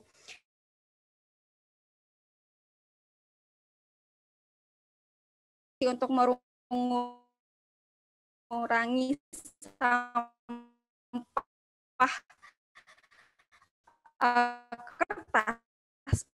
Bagi saya ini bukan arsipan secara konvensional, baik itu dari kertas dan map-map sekalian, itu menyatakan uh, akan meningkatkan validitas dari datanya. Padahal sebenarnya dalam hukum Indonesia pun sudah melegitimasi bahwa kontrak elektronik maupun pengarsipan secara digital itu dapat dilakukan secara optimal untuk mengurangi penggunaan kertas. Apalagi di zaman pandemi ini, ini membuktikan bahwa efektivitas penggunaan kontrak elektronik itu harus dilakukan agar tidak tertular virus uh, corona dan lain sebagainya. Seperti itu, terima kasih.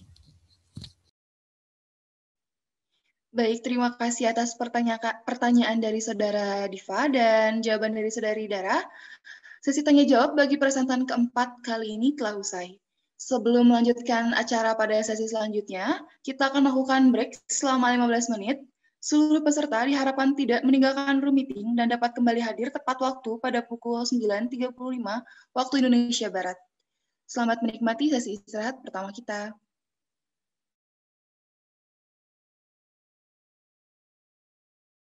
Chat. Untuk Anggito, saya persilahkan. Baik, terima kasih atas kesempatannya. Uh, Assalamualaikum warahmatullahi wabarakatuh. Uh, salam sejahtera untuk kita semua. Om Swastiastu, Namo Buddhaya, Salam Kebajikan. Perkenalkan, nama saya Anggita Abimanyo sebagai presentator untuk materi saya yaitu teknologi dalam pengembangan sistem eco-friendly bagi masyarakat. Berikut. Mari kita kita mulai presentasi ini dengan menanyakan suatu pertanyaan ke dalam diri kita sendiri. Apa sih makna dan kenapa sih kita harus membahas tentang AI dan big data? How important is it? Uh, sepenting apa ini hal ini dan kenapa harus diterapkan dan kenapa harus dibicarakan? Lanjut. Yang pertama-tama saya akan memberikan contoh penerapan AI dan big data secara keseluruhan. Yang pertama, This is example of stock markets. Uh, jadi bagaimana big data dan juga AI itu menganalisis sebuah uh, laju stock market atau uh, pasar saham. Yang pertama pada tanggal 17 Februari 2020, stock market Indonesia berada di tahap uh, tertingginya dan dalam waktu yang singkat uh, pada tanggal uh, Februari 28 2020 stock market di Indonesia itu menurun secara drastis. Mengapa demikian dan mengapa hal ini dapat relevansi dengan pembahasan big data? Big data can be used to analyze market. Big data dapat digunakan untuk menganalisa sistematis market. Uh, kalau mungkin diterapkan kepada pengertiannya, big data itu dapat digunakan sebagai salah satu wadah analisa untuk sebuah data yang harus di, dianalisis dan data yang harus diimprovisasi ke depannya. Lanjut. Yang pertama-tama, big data to help social and natural improvement. Uh, bagaimana big data dapat membantu permajuan sosial dan juga uh, alam sekitar. Today, the big data is a influence not only the business but also for our social life. Jadi, big data nggak cuma berhubungan dengan penggunaan dalam bisnis, tapi juga dalam kehidupan kita sehari-hari. Uh, it helps to improve social uh, well-being, the way governments hold uh, social and in uh, increase social uh, delivery. Jadi, pemerintah sudah mulai menerapkan big data ini dalam ajang mereka eh, memberikan yang lebih untuk masyarakat dalam sistematis sosialnya dan juga dalam sistematis security sosialnya. Uh, research says uh, every day 2.5 quintillion of data is being created which contains uh, information of million people. Jadi setiap harinya 2,5 quintillion uh, dat jumlah data itu uh, telah diciptakan dan telah dianalisa dan telah dalam bank data seba, uh, untuk menjelaskan uh, beberapa informasi tentang million of people. Uh, yang pertama kita merujuk kepada penggunaan big data untuk sosial kita. Yang pertama improving healthcare. Bagaimana big data bisa mengimprove healthcare? Uh, pada tingkat uh, populasi yang luas, uh, meningkatkan healthcare menggunakan analisis big data dapat membantu mengurangi tingkat uh, penularan penyakit. Uh, sebagai contoh, uh, sebagai contoh kita bisa melihat uh, implikasinya dalam bagaimana London mulai maju dari mulai negara yang paling berbahaya dalam corona menjadi negara yang mulai terkendali coronanya dalam waktu yang cepat. Bagaimana cara mereka menganalisinya? Mereka menggunakan sistematis bank dari big data. Mereka merujuk kepada big data, data yang diberikan oleh big data dan menganalisisnya dan menyetorkannya menjadi uh, informasi yang dapat digunakan sebagai improvisasi uh, untuk hal-hal yang harus mereka lakukan. Itu adalah salah contoh penerapan dalam healthcare. Bagaimana big data bisa membantu healthcare adalah big data itu memberikan informasi yang relevan untuk uh, dapat diterapkan dalam penerapan uh, perkembangan sosial dan juga kesehatan di sekitar uh, daerah tersebut. Berikutnya, big data to help social security. Social security itu dapat diartikan sebagai sekuritas sosial. Uh, uh, badan uh, pusat uh, menginvestigasi sumber daya yang signifikan dalam uh, analitik data besar atau big data untuk menggali informasi berharga, memprediksi hasil di masa depan, dan juga membuat keputusan uh, berdasarkan datanya. Uh, Badan United uh, United States Social Security uh, atau BSA melakukan hal-hal seperti berikut. Contohnya meningkatkan sistem mereka yang sudah tercipta dari sekian lama dan mengimplementasi big data untuk mengimprovisasi hal-hal yang mereka miliki. Yang kedua, mengembangkan kemampuan analisis sistem. Yang ketiga, menerapkan strategi uh, manajemen data dan struktural organisasi. Jadi big data dapat membantu mereka dalam mengimplementasikan sebuah pengembangan dalam struktural dan strategi manajemen uh, data dan juga struktural sebuah organisasi yang dapat menang simbulangi uh, sebuah masalah. Poin keempat, mengelola masalah keamanan dan privasi klien perusahaan. Dalam sosial sekuritas, uh, big data dapat di, dapat membantu sebuah sekuritas informasi dalam sebuah klien dalam untuk sebuah perusahaan. Poin yang terakhir yang bisa saya ajukan adalah mengadvokasi peningkatan investasi dalam analitik data.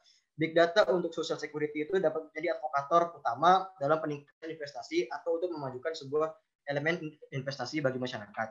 Big data to improve uh, cities. Uh, bagaimana big data bisa menimbulkan kemajuan dalam uh, perkotaan dan seterusnya dalam kondisi utama sumber data sumber data baru atau big data yang uh, dikoordinasikan dengan kebijakan perkotaan dapat diterapkan mengikuti prinsip-prinsip dasar uh, praktik untuk mencapai solusi baru atau untuk mengimplementasikan solusi terbaik untuk permasalahan sebuah kota. Dan poin yang terakhir adalah improving personal life. Gimana caranya big data itu menyetor informasi-informasi seperti online shopping, uh, music uh, music streaming dan lain-lain. Uh, big data itu dapat memberikan relevansi uh, saran untuk yang bisa kita buka dalam uh, sebuah jejaring sosial yang kita gunakan sebagai penerapannya dalam lingkup sosial. Lanjut. Ini adalah contoh penggunaan artificial intelligence. Uh, 74% of uh, uh, respondents agree that AI or artificial intelligence will help solve a environment challenge. Uh, 74% responden setuju bahwa AI itu dapat digunakan sebagai salah satu pemberi saran yang terbaik dalam memajukan sebuah environment. Berikutnya adalah poin-poin saya yang saya lingkari. Yang pertama adalah poin tentang uh, agrikultur atau uh, AI reduce 90% of the chemical spray on agricultural products. Uh, gimana caranya uh, AI itu dapat membantu dengan cara mengaplikasi uh, berbasis uh, trigonal smart uh, management uh, agricultural system yang menghubungkan uh, teknologi sandbox sebagai uh, satu sensor utama dan menggunakan teknologi uh, ubiquitous uh, environmental uh, characteristic system yang menghubungkan dengan cloud uh, computing dalam menganalisa struktural uh, uh, sebuah agricultural design. Berikutnya, poin berikutnya adalah AI is helpful to water leakage management. Uh, bagaimana caranya big data itu dapat mengutilisasi uh, analytical safer safer way-nya bagaimana caranya air itu berkembang, bagaimana cara air itu didistribusikan dan bagaimana cara sebuah sebuah uh, sumber daya air itu uh, disalurkan dan dikembangkan dalam sebuah uh, tautan masyarakat. Poin berikutnya adalah tentang dan poin terakhir saya adalah tentang distribusi food waste. Uh, distribusi food waste itu gimana maksudnya? Berarti uh, uh, AI itu dapat mengurangi food waste atau uh, penyanyian makanan dan bahkan mengembangkan penyaluran makanan dan juga pengembangan uh, agrikultural yang berhubungan dengan makanan. Bagaimana caranya? Uh, by monitoring some key uh, parameters uh, dengan memonitoring dengan memonitorkan sebuah banyaknya kunci-kunci parameter uh, AI itu dapat memberikan uh, salah satu uh, perishable uh, analysis untuk perishable foods. Jadi AI itu dapat merujuk pada informasi apa saja makanan yang bisa dibuang dan dapat diulang sebagai sebuah sumber daya yang dapat digunakan kembali atau bagaimana sebuah makanan itu dapat dibuang dan dapat disalurkan menjadi sebuah energi yang dapat diubah di kemudian harinya.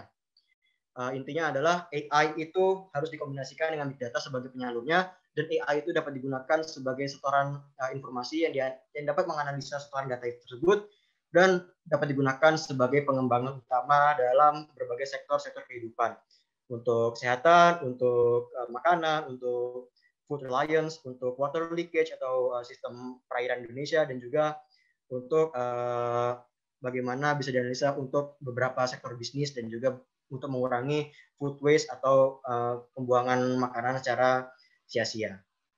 Berikut. Uh, mungkin itu saja untuk presentasi saya yang singkat ini. Berikutnya saya akan membuka sesi tanya jawab. Uh, untuk sesi tanya jawab saya kembalikan kepada moderator. Baik, terima kasih kepada presentan kelima. Sesi selanjutnya adalah sesi tanya jawab. Pertama, akan saya persilahkan untuk Dewan Juri menyampaikan pertanyaannya.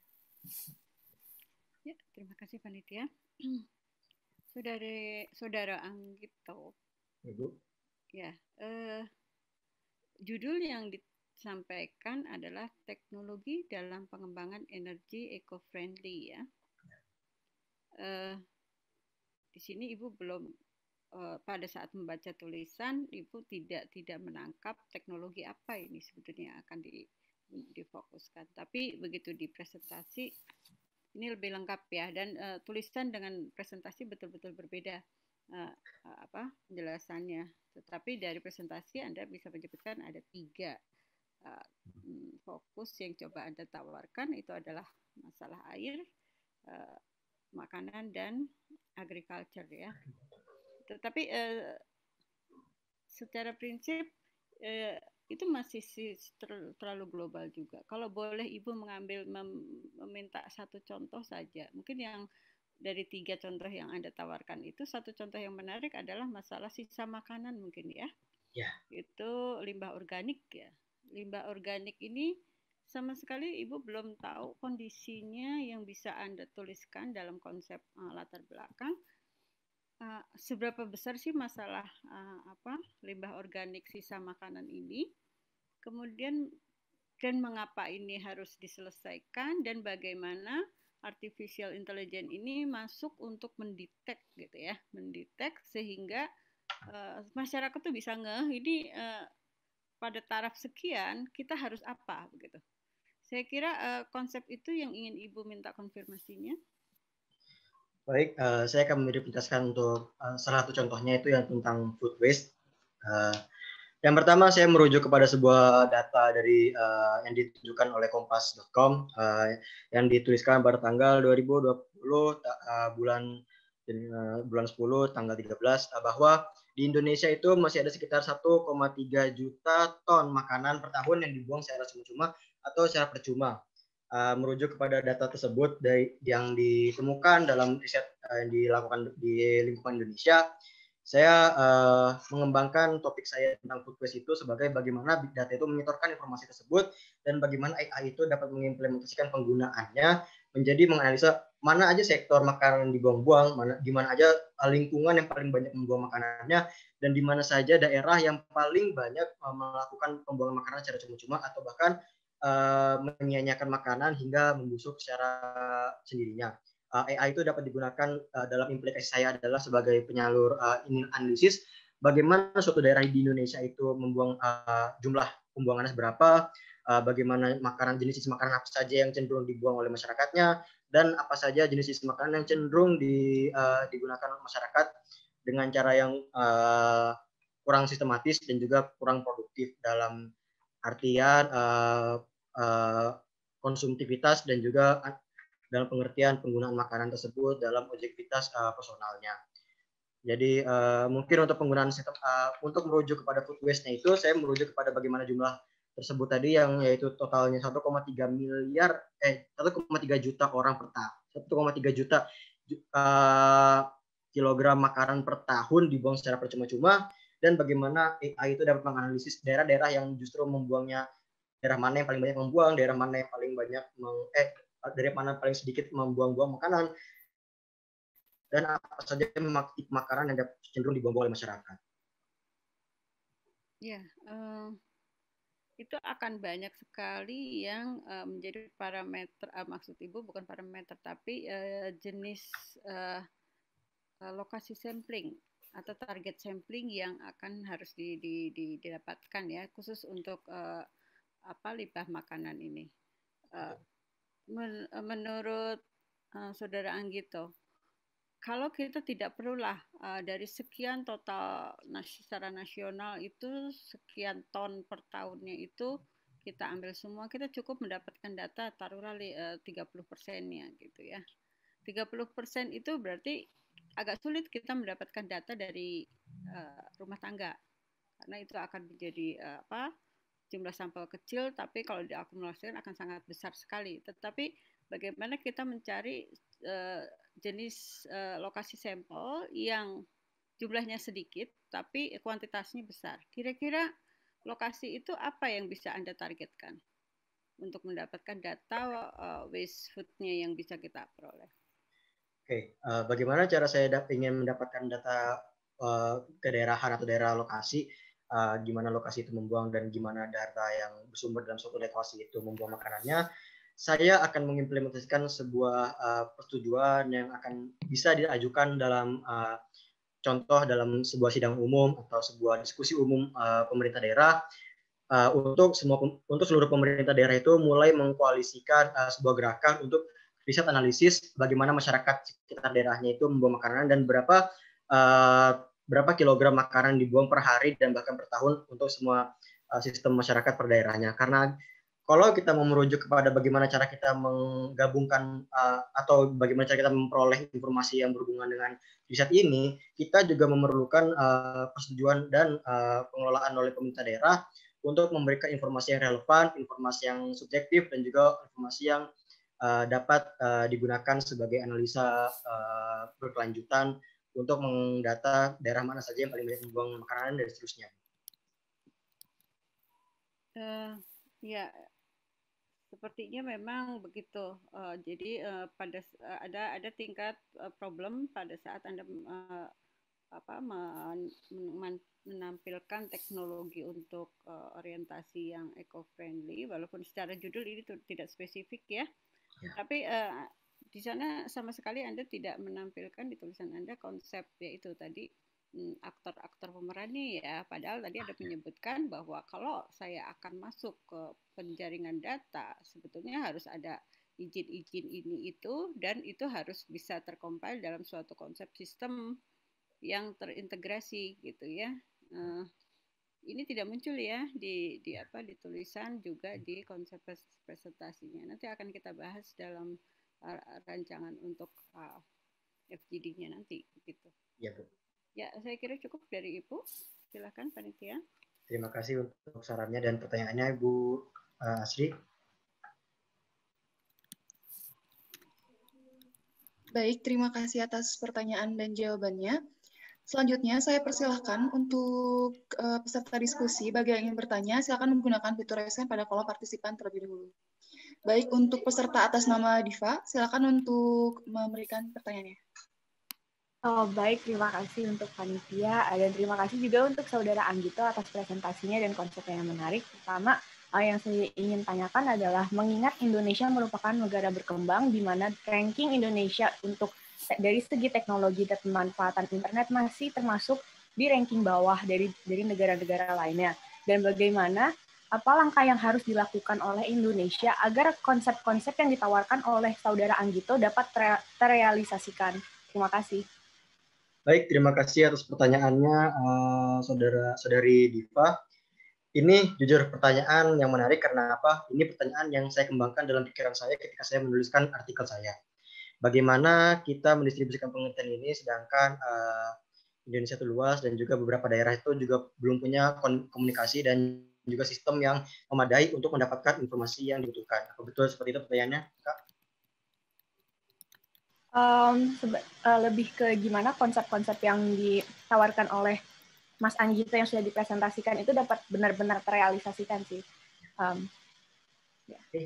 uh, ini menarik karena cenderung kita harus memikirkan bagaimana konseptual lokasi, lokasi uh, yang tersebar di Indonesia dari mulai daerah yang masih belum tercapai dalam uh, sistematis koneksi internet dan bagaimana beberapa daerah di Indonesia pun masih belum mendapatkan sistematis uh, komunikasi secara luar dan secara nasionalitas.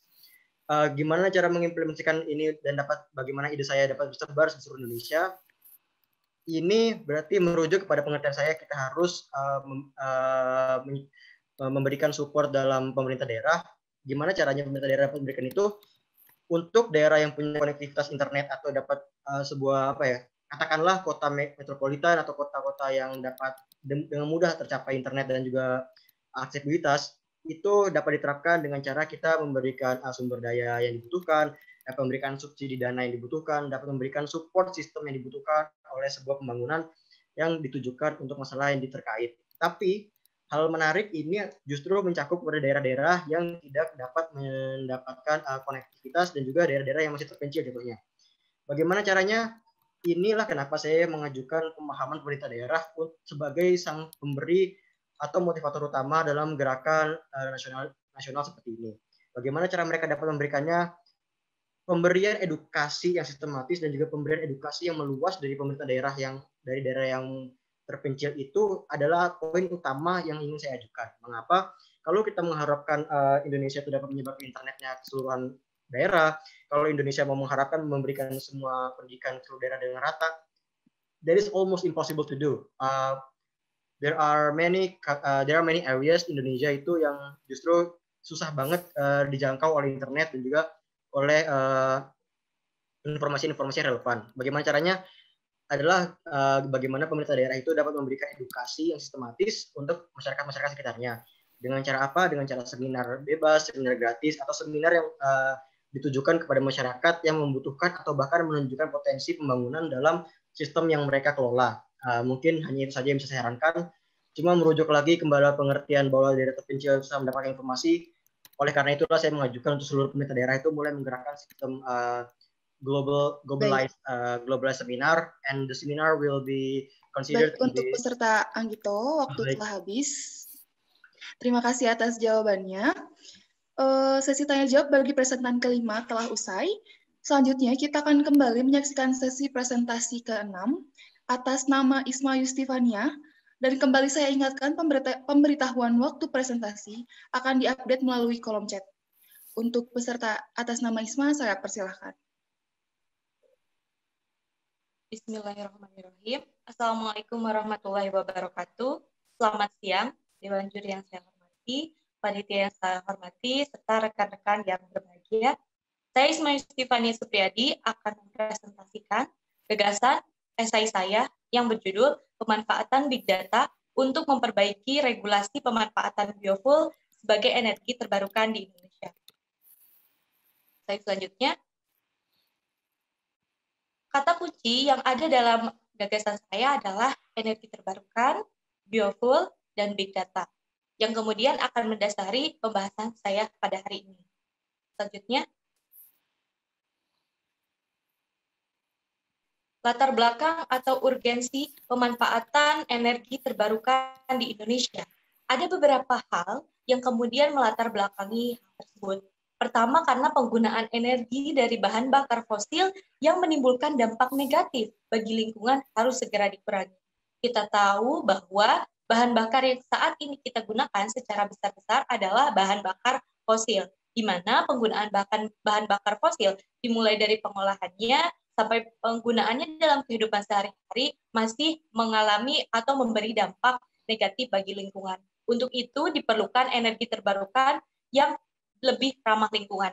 Selain itu, Indonesia berperan aktif dalam mewujudkan tujuan pembangunan berkelanjutan pada nomor tujuh yaitu energi bersih dan terjangkau dan komitmennya terhadap uh, komitmen internasional negara dengan mendatangani kesepakatan Paris juga melandasi mengapa energi terbarukan di Indonesia semakin berkembang. Slide selanjutnya. Energi terbarukan di Indonesia ini kita ingat bahwa Indonesia merupakan negara hukum yang segala sesuatunya pasti dilandasi dengan hukum, termasuk dengan energi terbarukan.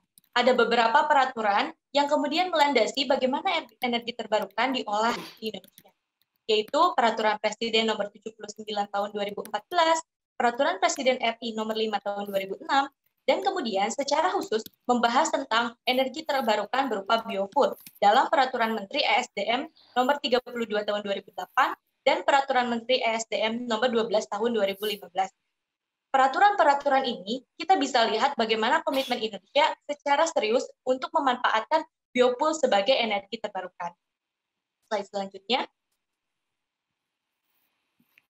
Seperti yang dibahas oleh saya sebelumnya bahwa pemerintah saat ini uh, ada salah satu fokus pemerintah untuk mencari energi terbarukan adalah dari biofuel.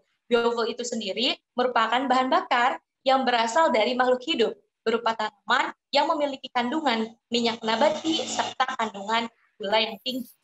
Selain itu, biofuel itu bisa berupa bioetanol, biodiesel, dan biogas. Bioetanol biasanya berasal dari tumbuh-tumbuhan seperti gandum, tebu, jagung, singkong, dan lain sebagainya. Biodiesel dapat diperoleh dari minyak kedelai, minyak uh, sejenis bunga-bungaan, dan lain sebagainya. Serta biogas biasanya berasal dari fermentasi sampah tumbuhan. Dilihat dari macam-macam dari biofuel, kita bisa melihat bahwa Indonesia sebagai negara yang mempunyai sumber daya alam yang tinggi, mempunyai potensi yang besar untuk kemudian semakin mengembangkan biofuel sebagai energi terbarukan. Namun, kita lihat di slide selanjutnya, ada beberapa masalah yang timbul dalam pemanfaatan biofuel sebagai energi terbarukan. Slide selanjutnya. Nah, permasalahan yang saya temukan ada di pihak produsen. Jadi kita uh, sebelumnya kita tahu kita yakin bahwa Indonesia memang komitmen untuk menggunakan biofuel sebagai energi terbarukan. Namun, kenapa biofuel ini tidak bisa secara masif digunakan oleh masyarakat Indonesia, ternyata permasalahannya ada di produsen. Di antaranya adalah produsen mengalami uh, permasalahan mengenai pembatasan lahan sawit, insentif untuk produsen penyediaan bahan baku, serta minimnya sarana dan prasarana. Nah, jika permasalahan ini tersendat di produsen, maka kita yakini akan berdampak juga kepada konsumen, yaitu masyarakat Indonesia. Sehingga pada kenyataannya konsumen uh, dapat merasakan pengolahannya yang tidak stabil. Jadi ketika produsen produsen uh, membuat uh, menghasilkan gitu energi terbarukan dari biofuel, tapi pengolahannya yang tidak stabil dan penyaluran energi yang tidak merata menyebabkan konsumen yaitu masyarakat Indonesia kembali lagi menggunakan energi lama yang kita pahami sebelumnya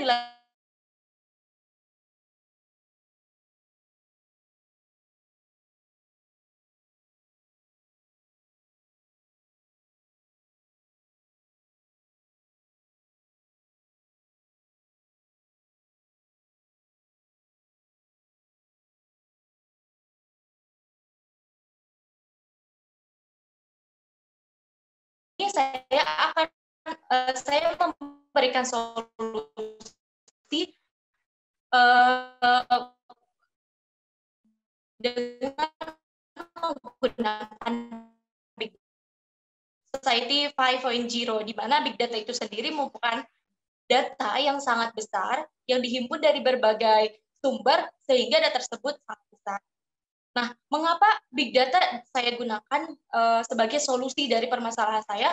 Karena kita lihat dari karakteristik dari big data itu. Kita lihat di slide selanjutnya. Ada uh, setidaknya ada lima kata karakteristik dari big data yang menjadi alasan mengapa big data ini bisa menyelesaikan permasalahan yang telah saya sebutkan sebelumnya.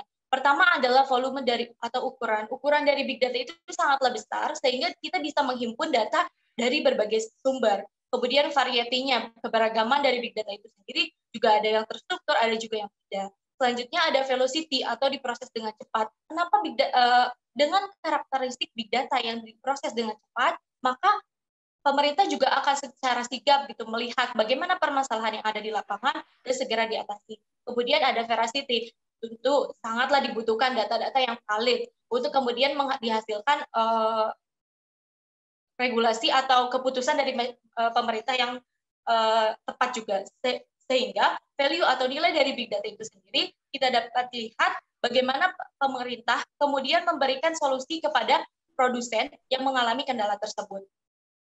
Dengan demikian, maka saya uh, percaya bahwa dengan menggunakan big data, konsepnya konsep secara umum adalah big data menghimpun semua permasalahan-permasalahan yang ada di produsen seperti sarana dan prasarana yang kurang, kemudian uh, kurang meratanya sumber dari eh, lahan-lahan uh, dan lain sebagainya itu terhimpun dengan sangat cepat dan sangat tepat diserahkan kepada pemerintah dan kemudian pemerintah melihat bagaimana alasan mengapa uh, energi terbarukan ini tidak bisa di, dilakukan secara cepat.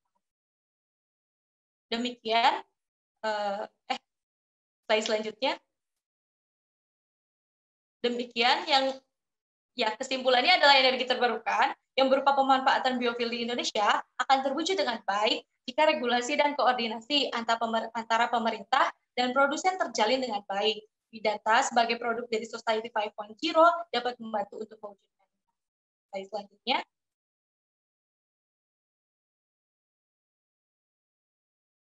Slide selanjutnya. Terima kasih. Demikian presentasi yang dapat saya sampaikan. Untuk sesi tanya jawab, saya kembalikan kepada Baik, terima kasih kepada presentan ke-6. Sesi selanjutnya adalah sesi tanya jawab. Pertama akan saya persilahkan untuk Dewan Juri menyampaikan pertanyaannya. Baik, terima kasih waktunya. Saudari Isma, pertanyaan Ibu lebih uh, mencoba mencari jawaban yang Anda tulis di uh, apa dokumen esainya ya. Tetapi uh, sebagian terjawab dalam presentasi ini. Uh, jadi Anda me, apa, menyatakan bahwa regulasi permasalahan regulasi dalam pemanfaatan biofuel dalam hal ini Anda memberikan contohnya dari uh, kelapa sawit ya itu ada di produsen ya apakah betul? Betul ibu. Betul. Ya jadi problemnya ada regulasi di produsen ini bermasalah nih sehingga uh, tidak maksimal memanfaatkan uh, sumber daya energi yang terbarukan. Nah, tetapi juga Ibu belum belum mendapatkan secara sistematis uh, masalah big data. Anda hanya menyebutkan karakter big data yang bagus tuh ini ini ini ini. Tetapi bagaimana Anda menyinkronkan karakter yang bagus dari big data ini untuk memperbaiki regulasinya itu sepertinya belum muncul ya. Boleh Anda bisa konfirmasi di sini?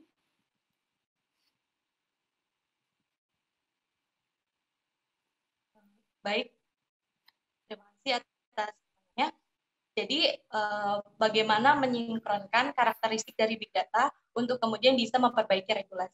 Nah, saya gagasan saya adalah eh, dengan menggunakan dengan menyebarkan website-website atau aplikasi yang dibuat oleh pemerintah yang disebarluaskan ke berbagai spesifik daerah seperti per provinsi, kemudian semakin merujuk lagi per kabupaten dan eh, per desa-desa gitu sehingga di sana karakteristik big data itu bisa digunakan misalnya seperti provinsi Jawa Barat menghimpun data data mengenai misalnya sarana dan prasarana yang masih kurang memadai di desa A. Nah dari desa A itu akan menyinkronkan ke uh, data di provinsi Jawa Barat. Nah provinsi Jawa Barat Jawa Barat itu juga akan kemudian tersinkron sinkron ke pemerintah pusat itu sehingga pemerintah pusat akan secara cepat uh, mengatasi masalah tersebut. Jadi intinya adalah dengan menggunakan seperti website-website ataupun aplikasi yang dikembangkan oleh pemerintah yang dikelola atau diakses oleh pemerintah uh, daerah dan juga masyarakat umum sebagai produsen.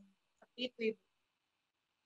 Oh, jadi mungkin yang Anda maksudkan Anda akan menyarankan uh, proses regulasinya itu di dalam suatu bentuk platform ya yang bisa online begitu ya, seperti website yang bisa diakses dari berbagai pihak, begitu? Betul, Ibu. Tujuannya untuk menghimpun data secara real time seperti itu. Ya, oke. Okay. Uh, eh, ini sama sekali tidak muncul ya di konsep tulisan dengan konsep uh, PowerPoint ini ya. Jadi uh, tapi begitu dikonfirmasi bisa keluar gitu. Kemudian uh, anda hanya menyebutkan tadi satu contoh biofuel berarti biofuel dari minyak gitu. Padahal kan yang namanya biofuel itu banyak sekali gitu. Kira-kira menurut versi Anda selain minyak uh, sumber energi terbarukan apalagi yang bisa Anda rekomendasikan untuk bisa diimplementasi dengan konsep uh, aplikasi artificial intelligence dengan uh, dan big data ini?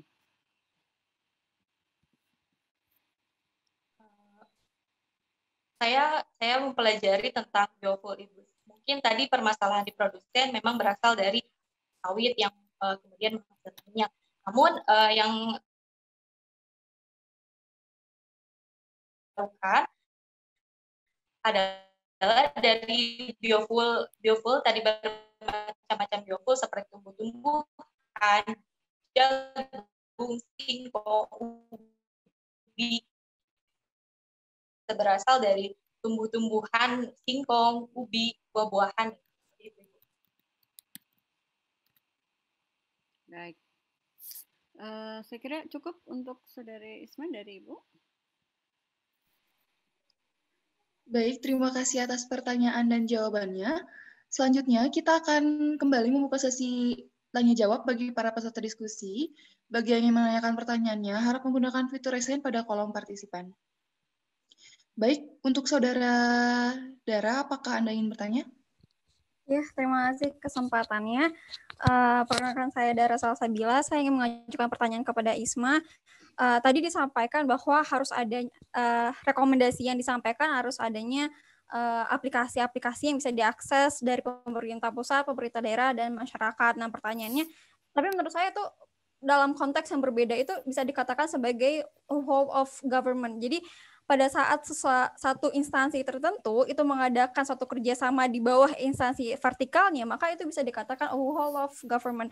Pertanyaan saya, apa hubungannya dan korelasinya pada saat kita bicara soal aplikasi-aplikasi tersebut dengan uh, pengembangan biodiesel, eh biofuel, maksudnya karena tidak menurut saya tidak ada hubungannya pada saat kita berbicara soal energi terbarukan dan energi ramah uh, lingkungan, tapi tidak dikorelasikan dengan bentuk apa permasalahan yang dihadapi oleh si energi tersebut. Terus yang kedua, uh, dengan adanya pembatasan lahan sawit yang sebagai adanya pembatasan pun bahkan sekarang sudah ada pembatasan pun berdasarkan peraturan presiden sekalipun itu para pelaku usaha tetap melakukan pengurusakan terhadap lahan hutan. Artinya ter terus terjadi deforestasi dan degradasi lingkungan hidup. Dan pertanyaannya, bagaimana tanggapan saudara mengenai ini pada saat kita mengembangkan energi biofuel itu? Terima kasih.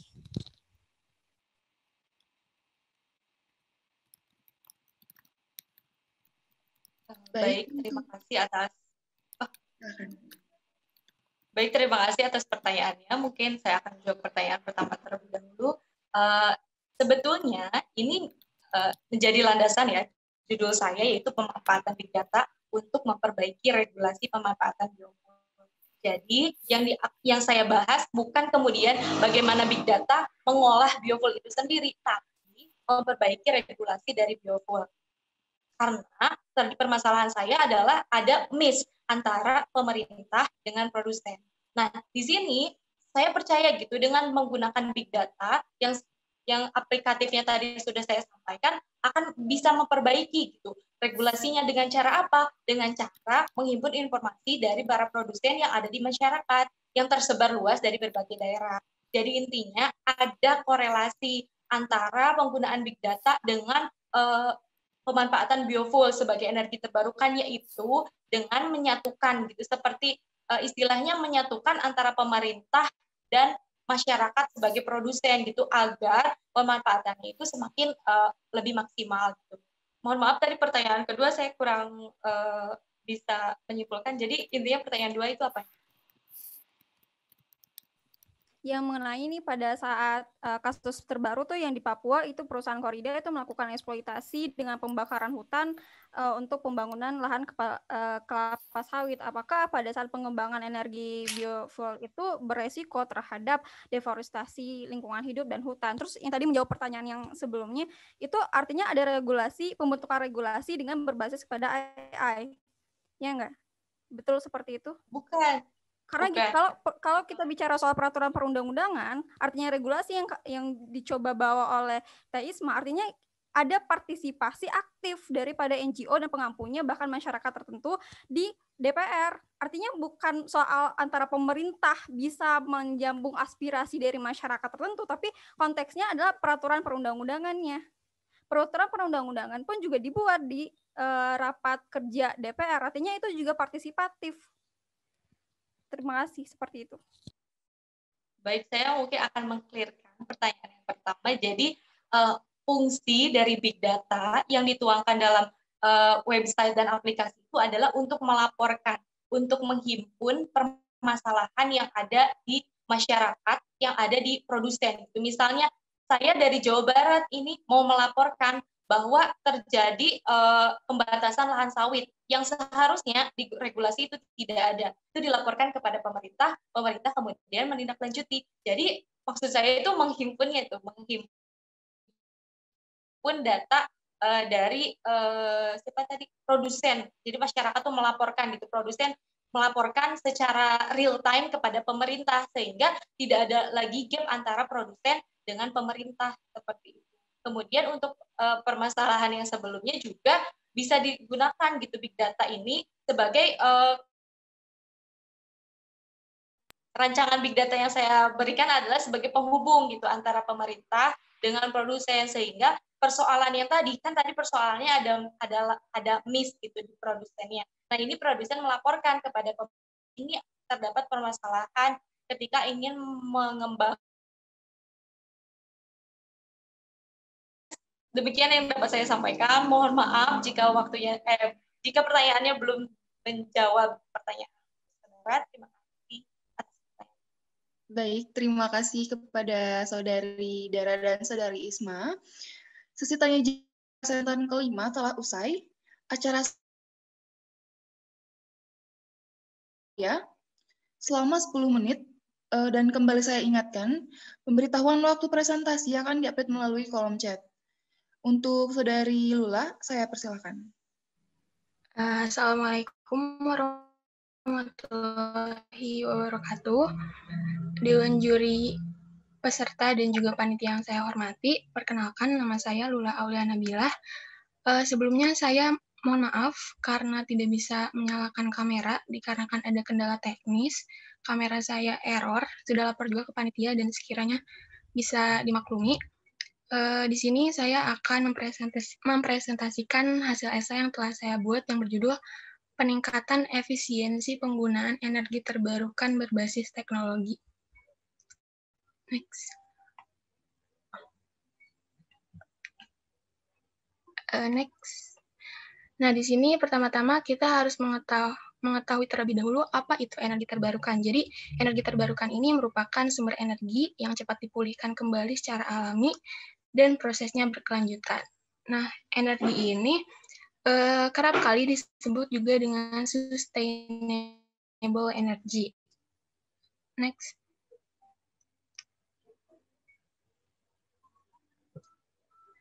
Lalu transisi revolusi industri 4.0 ke society 5.0. Jadi di sini harus diketahui terlebih dahulu bahwa Society 5.0 ini merupakan sebuah konsep yang memungkinkan manusia untuk dapat menyelesaikan berbagai permasalahan sosial dengan dukungan teknologi. Nah, konsep ini itu didukung oleh AI dan juga Big Data. Next.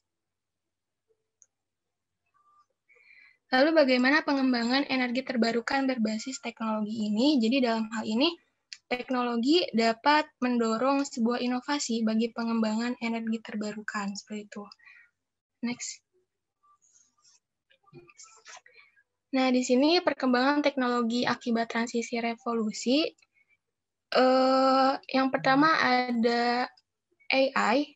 AI ini merupakan suatu program komputasi yang dapat membuat mesin bekerja layaknya kecerdasan manusia. Lalu di sini juga ada big data, di mana data dalam jumlah yang sangat besar yang dikumpulkan, disimpan, diolah, dan dianalisis agar menghasilkan informasi yang bermanfaat untuk sebagai dasar pengambilan keputusan atau kebijakan. Jadi melalui dua konsep inilah nantinya diharapkan AI dapat mentransformasi big data yang dikumpulkan melalui internet pada segala bidang kehidupan menjadi suatu ke kearifan baru sehingga dapat meningkatkan kemampuan masyarakat dalam membuka peluang-peluang yang ada. Next.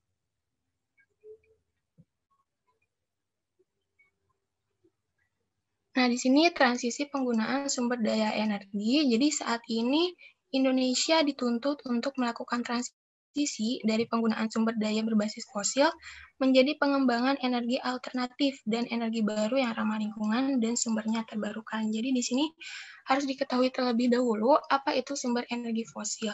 Jadi energi fosil ini adalah energi yang mengandung hidrokarbon seperti batu bara, minyak bumi, dan gas alam yang dapat merusak lingkungan secara nyata. Lalu, Sumber energi terbarukan ini adalah sumber energi yang cepat dipulihkan kembali secara alami, prosesnya berkelanjutan, dan juga tentunya lebih eco-friendly. Uh, next. Indonesia memiliki beragam sumber energi terbarukan yang dapat dikembangkan. Jadi contoh sektor energi uh, di Indonesia yang bisa dikembangkan itu uh, berasal dari sektor energi listrik, yaitu bisa dari energi matahari, energi angin, energi panas bumi, dan juga energi gelombang laut. Tapi sayangnya, sumber-sumber energi inilah yang belum bisa dimanfaatkan secara maksimal. Next. Uh, di sini ada target bauran energi dalam Rencana Umum Energi Nasional. Uh, kondisi 2015 bisa dilihat bahwa penggunaan energi baru dan terbarukan itu baru mencapai 5%. Dalam Peraturan Presiden Nomor 22 Tahun 2017 tentang Rencana Umum Energi Nasional ini telah ditetapkan bahwa pemerintah akan terus meningkatkan pemanfaatan energi baru dan terbarukan. Jadi target pemerintah itu pada tahun 2000, 2025 itu penggunaan energi terbarukan bisa mencapai 23 persen dan juga pada tahun 2050 bisa mencapai 31 persen. Next. Nah, di sini ada perkembangan bauran energi nasional tahun 2015 sampai 2019. 19. Jadi, data terakhir dari perkembangan bauran energi ini adalah tahun 2019, yaitu baru mencapai 9,15 persen, di mana eh, angka ini masih jauh dari target pemerintah eh, tahun 2025 yang mengharuskan penggunaan energi terbarukan ini mencapai 23 persen, seperti itu. Next. Di sini ada eh, jenis-jenis sumber energi terbarukan. Jadi Indonesia memiliki jenis sumber energi terbarukan yang cukup banyak, yang apabila dapat dikelola dan dimanfaatkan dengan baik itu diyakini bisa menggantikan energi fosil. Jadi di sini ada biofuel, biomasa, air, angin, matahari, panas bumi, gelombang air laut, dan pasang surut air laut. Next. Uh, di sini pengelolaan energi yang efisien melalui pemanfaatan teknologi, pilar utama itu yaitu bisa menciptakan ketahanan dan keberlanjutan energi nasional dan global, lalu mendukung tujuan SDGs untuk menyediakan energi yang bersih dan terjangkau. Penerapan efisiensi energi terbarukan ini secara bersama-sama diprediksi bisa mengurangi lebih dari 90% emisi CO2. Jadi menurut Badan Energi Internasional, peningkatan efisiensi energi pada bangunan, proses industri, dan transportasi dapat mengurangi sepertiga kebutuhan energi di dunia pada tahun 2050, serta dapat membantu mengontrol emisi rumah kaca secara global. Lalu menurut International Renewable Energy agensi, energi terbarukan dapat memenuhi 2 per 3 konsumsi energi dan 85% dari pembangkit listrik. Next. Uh, di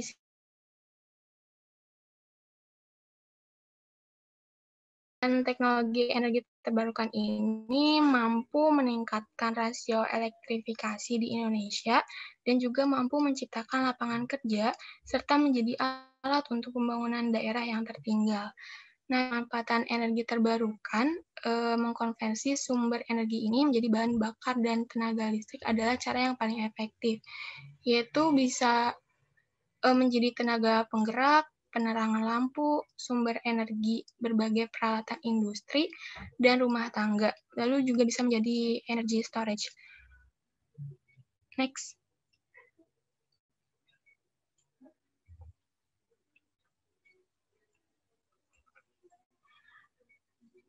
Uh, di sini ada contoh pemanfaatan teknologi pada sumber energi terbarukan uh, ada contoh skema sederhana dari virtual power plant. Jadi virtual power plant ini adalah uh, sebuah teknologi yang bisa mengelola supply dari beberapa pembangkit listrik dan menggabung, menggabungkannya untuk menyuplai arus listrik yang lebih stabil berdasarkan kebutuhan konsumen. Jadi uh, dari contoh skema ini uh, bisa menggabungkan PLTS, PLTB, PLTMH, dan PLTBM dengan kapasitasnya masing-masing seperti itu. Uh, lanjut.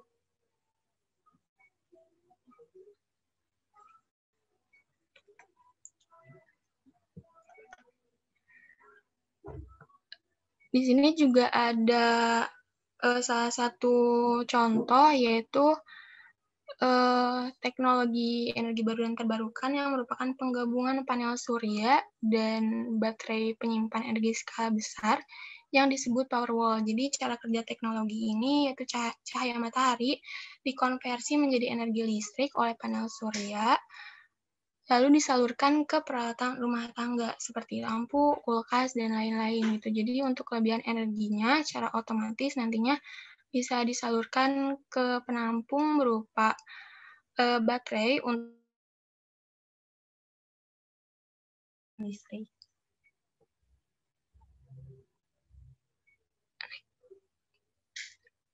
Lalu di sini ada kesimpulannya, bisa saya bacakan saja. Uh, walaupun Indonesia potensi besar dalam pengembangan energi terbarukan, namun transisi ke energi tersebut masih merupakan suatu tantangan yang besar. Peningkatan penggunaan energi terbarukan berbasis energi ini tentunya memiliki sebuah peluang dan tantangan yang harus dihadapi. Maka dari itu harus ada strategi dengan langkah yang tepat untuk memilih sumber energi mana yang akan dikembangkan terlebih dahulu, seperti listrik alternatif dan bahan bakar. Pengembangan tersebut juga harus berbasis pada kemajuan teknologi. Penggunaan teknologi ini hakikatnya akan dapat memecahkan berbagai hambatan dan tantangan pada pengembangan energi terbarukan. Eh, sekian uh, presentasi dari saya. Mohon maaf apabila banyak sekali kekurangan. Uh, terima kasih.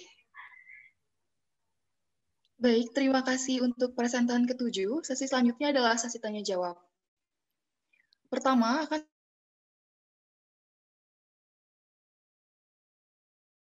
dari Lula. Ya. Ya, Ibu. Hmm, ini uh, penyampaiannya masih uh, sifatnya global ya. Uh, Ibu belum menangkap um, di sini Anda ingin mengadopsi uh, apa artificial intelligence atau big data dalam konteks judul judulnya pun sama sekali tidak menyentuh aspek eh, apa artificial intelligence itu ataupun big data tetapi lebih ke apa pun teknologinya. Apakah ada argumen? Uh, ya mungkin Ibu ini juga uh, kesalahan dari saya mungkin ya karena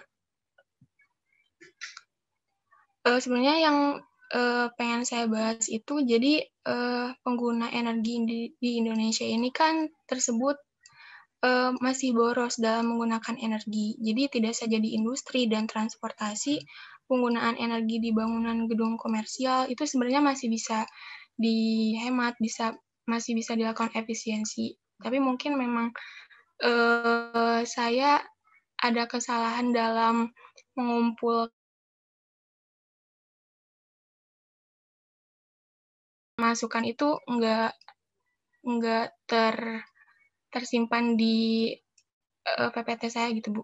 Ya, uh, tidak tertulis juga yeah. di dokumen itu ya, karena itu ibu konfirmasi uh, di dalam bentuk uh, pertanyaan ini. Jadi sebetulnya uh, tadi ibu sudah menangkap bahwa anda ingin fokus ke, melihat permasalahan ketidakefisiensian dalam penggunaan energi ya jadi masih yeah, boros Ibu. gitu ya. Itu tipikal orang Indonesia tuh masih boros gitu ya. Nah, Anda melihat dari sisi itunya gitu. Nah, eh, kalau Anda melihat dari sisi itunya, apakah Anda punya data seberapa boroskah uh, kita uh, dalam penggunaan energi hingga saat ini?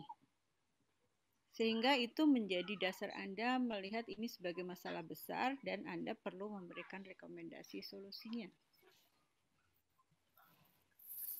Untuk datanya kebetulan saya uh, belum mendapatkan data yang pasti sih Bu. Mhm. Masih belum dapat. Ya, itu penting ya. Uh, Ya, Ibu. dalam um, uh, dalam kita membidik suatu permasalahan, saya kira bagus untuk menyampaikan seberapa krusialnya permasalahan itu sehingga ini perlu untuk secepatnya diberikan langkah-langkah solusi. Jadi ini nanti mungkin yang perlu di Anda uh, tambahkan. Kemudian hmm, kalau Anda melihat dari sisi itu adalah ada masalah. Dari sisi keborosan itu masalah. Tadi ada juga secara sekilas ada istilah uh, artificial intelligence itu apa, big data itu. Tapi itu hanya sekedar apa artinya gitu. Tapi Anda juga belum bisa menyebutkan dengan teknologi artificial ini pemborosan itu akan saya masukkan di sisi ini sehingga nanti sistemnya akan menjadi begini dan hasilnya akan mengurangi tingkat uh, pemborosan sekian persen. Itu sudah terbayang belum?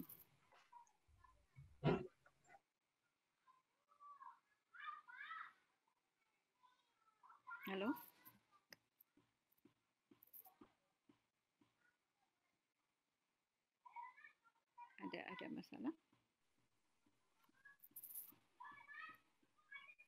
Eh, baik, apakah peserta atas nama Lula masih dalam room meeting?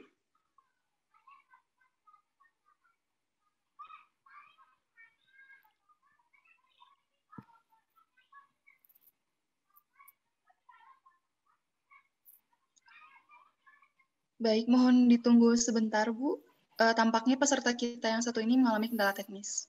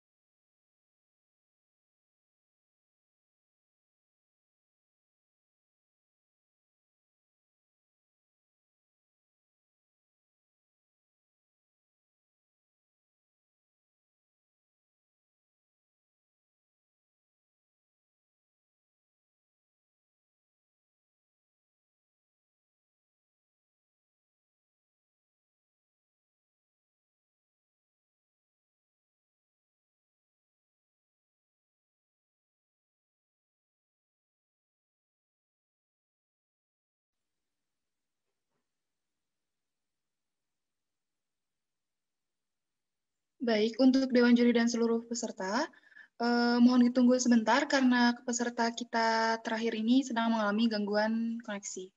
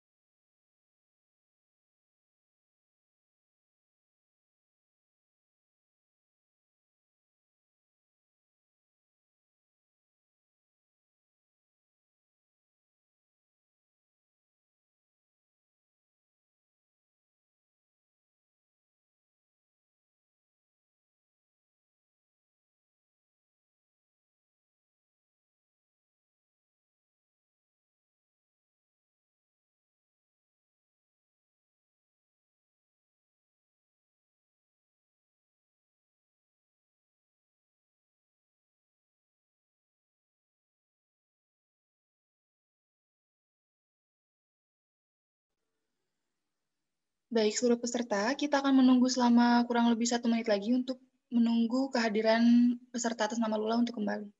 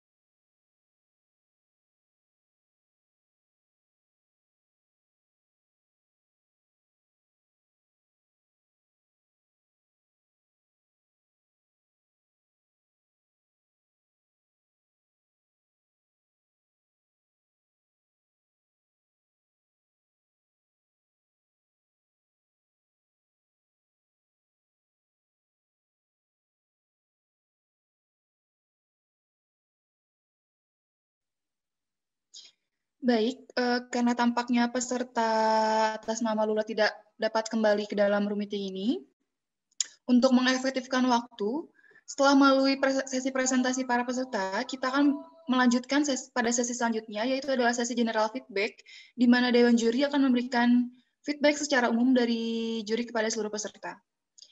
Baik, uh, bagi sesi general feedback hari ini akan dilakukan selama 10 menit. Kepada Dewan Juri, saya persilahkan.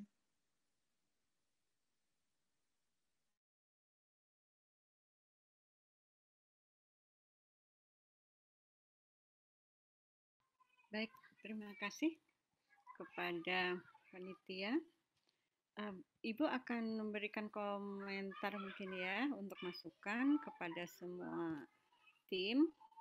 Jadi pada intinya uh, harus disadari untuk semua peserta yang sudah menyampaikan uh, ide dalam bentuk essay itu uh, diharapkan nanti akan diperdalam Uh, tadi sudah ada pendalaman dalam bentuk uh, presentasi, kemudian nanti diperdalam dalam bentuk FGD ya.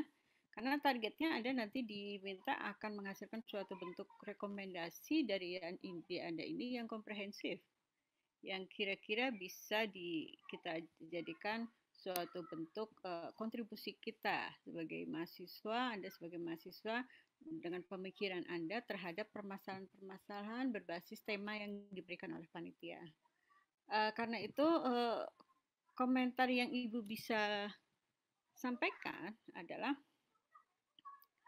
uh, anda pada umumnya masih uh, belum fokus pada saat mendesain suatu konsep yang tertuang dalam judul.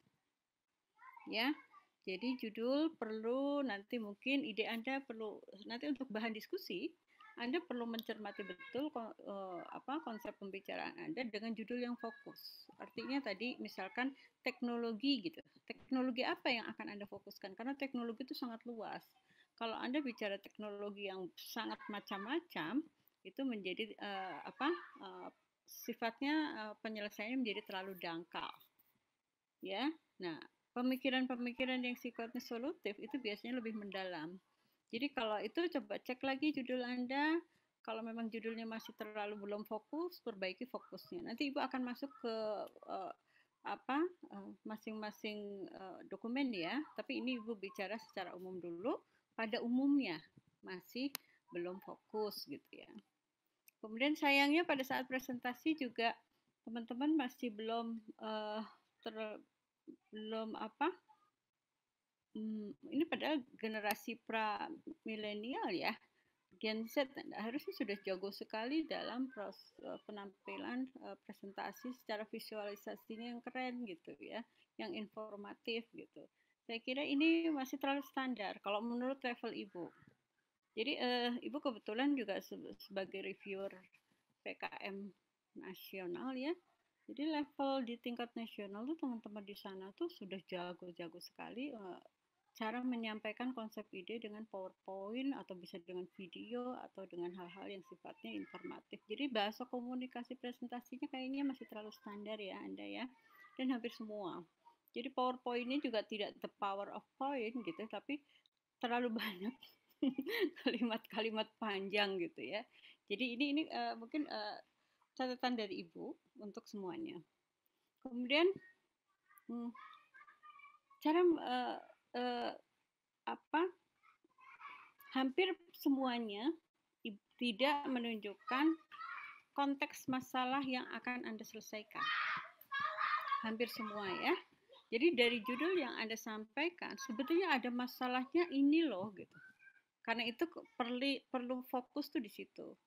Jadi jangan terlalu melebar. Teknologi-teknologi apa? Kalau teknologinya adalah teknologi biofuel, biofuelnya juga banyak gitu ya you feel yang mana gitu. Fokus saja di satu konsep sehingga Anda bisa mendapatkan data kuantitatif untuk meyakinkan seberapa besar ini menjadi masalah.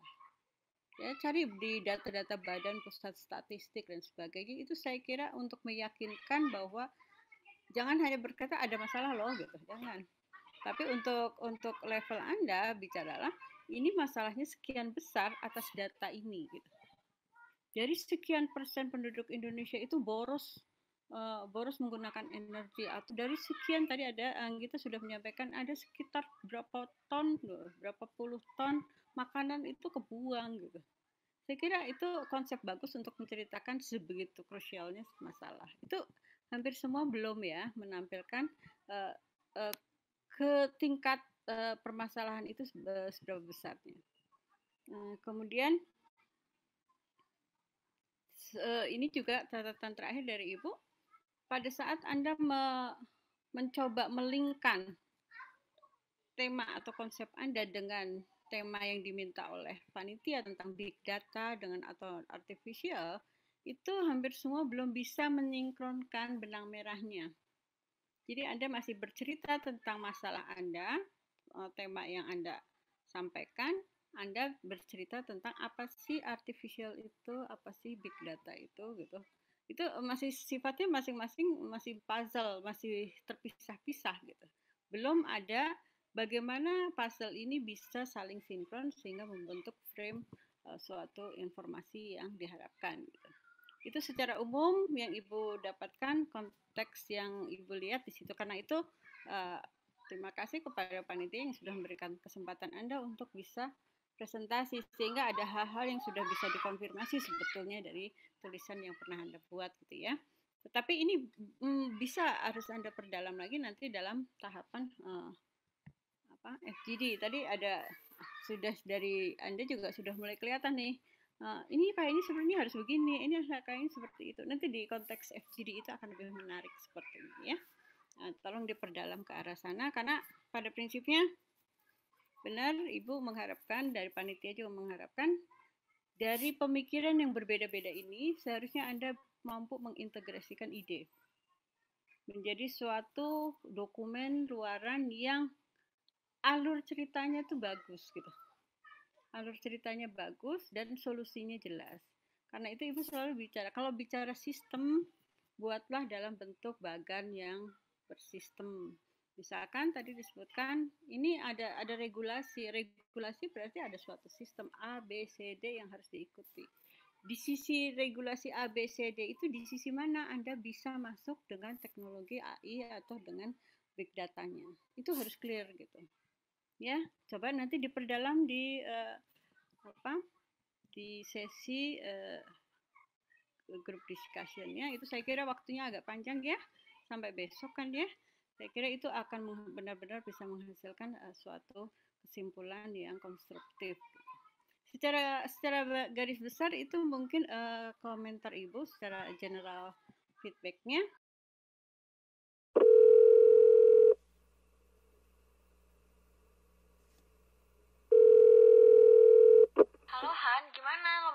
itu, jadi gak? Ma, udah Ihan bilang kan, Ma. Kalau yang lomba kemarin itu tuh batal gara-gara COVID. Lah, beneran batal, Han. Masa nggak ada lomba lagi? Padahal kan Mama udah ngarep kamu ikut lomba apa, kayak itulah ya gimana? Ya nggak ada, Ma. Ihan juga bingung mau ngapain. Aduh, gue nggak tahu lagi kenapa corona bisa ngerubah hidup gue kayak gini banget. Batal sana, batal sini, hancur lebur udah rencana gue di tahun ini udah jauh dari temen lah kuliah jadi online lah. Tempat makan banyak yang tutup lah. Aduh gue bingung banget. Kayak ya udah udah mah.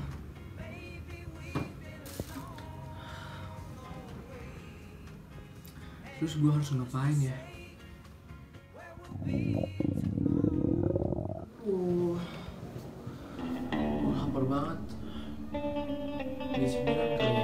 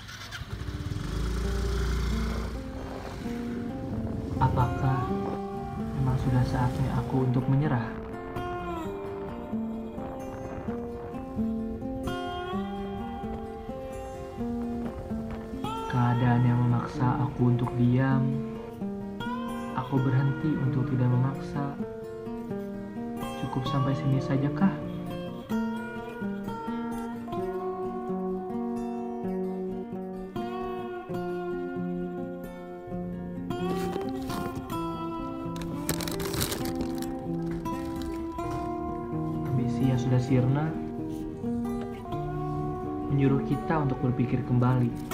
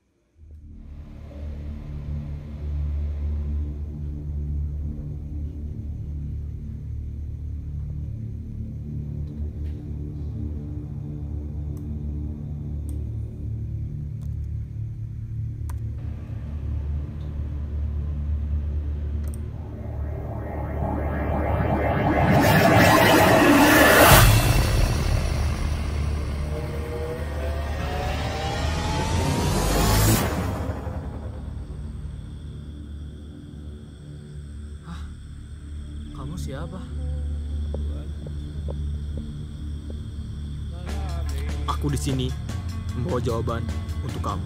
Maksud kamu jawaban apa? Kemarilah.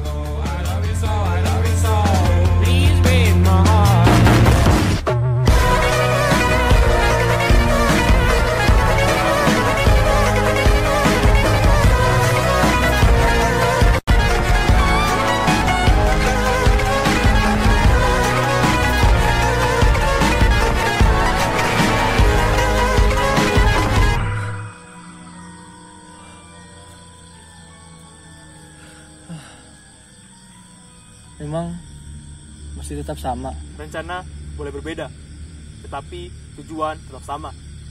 Sampai jumpa di Pajajaran Press and Conference 2020.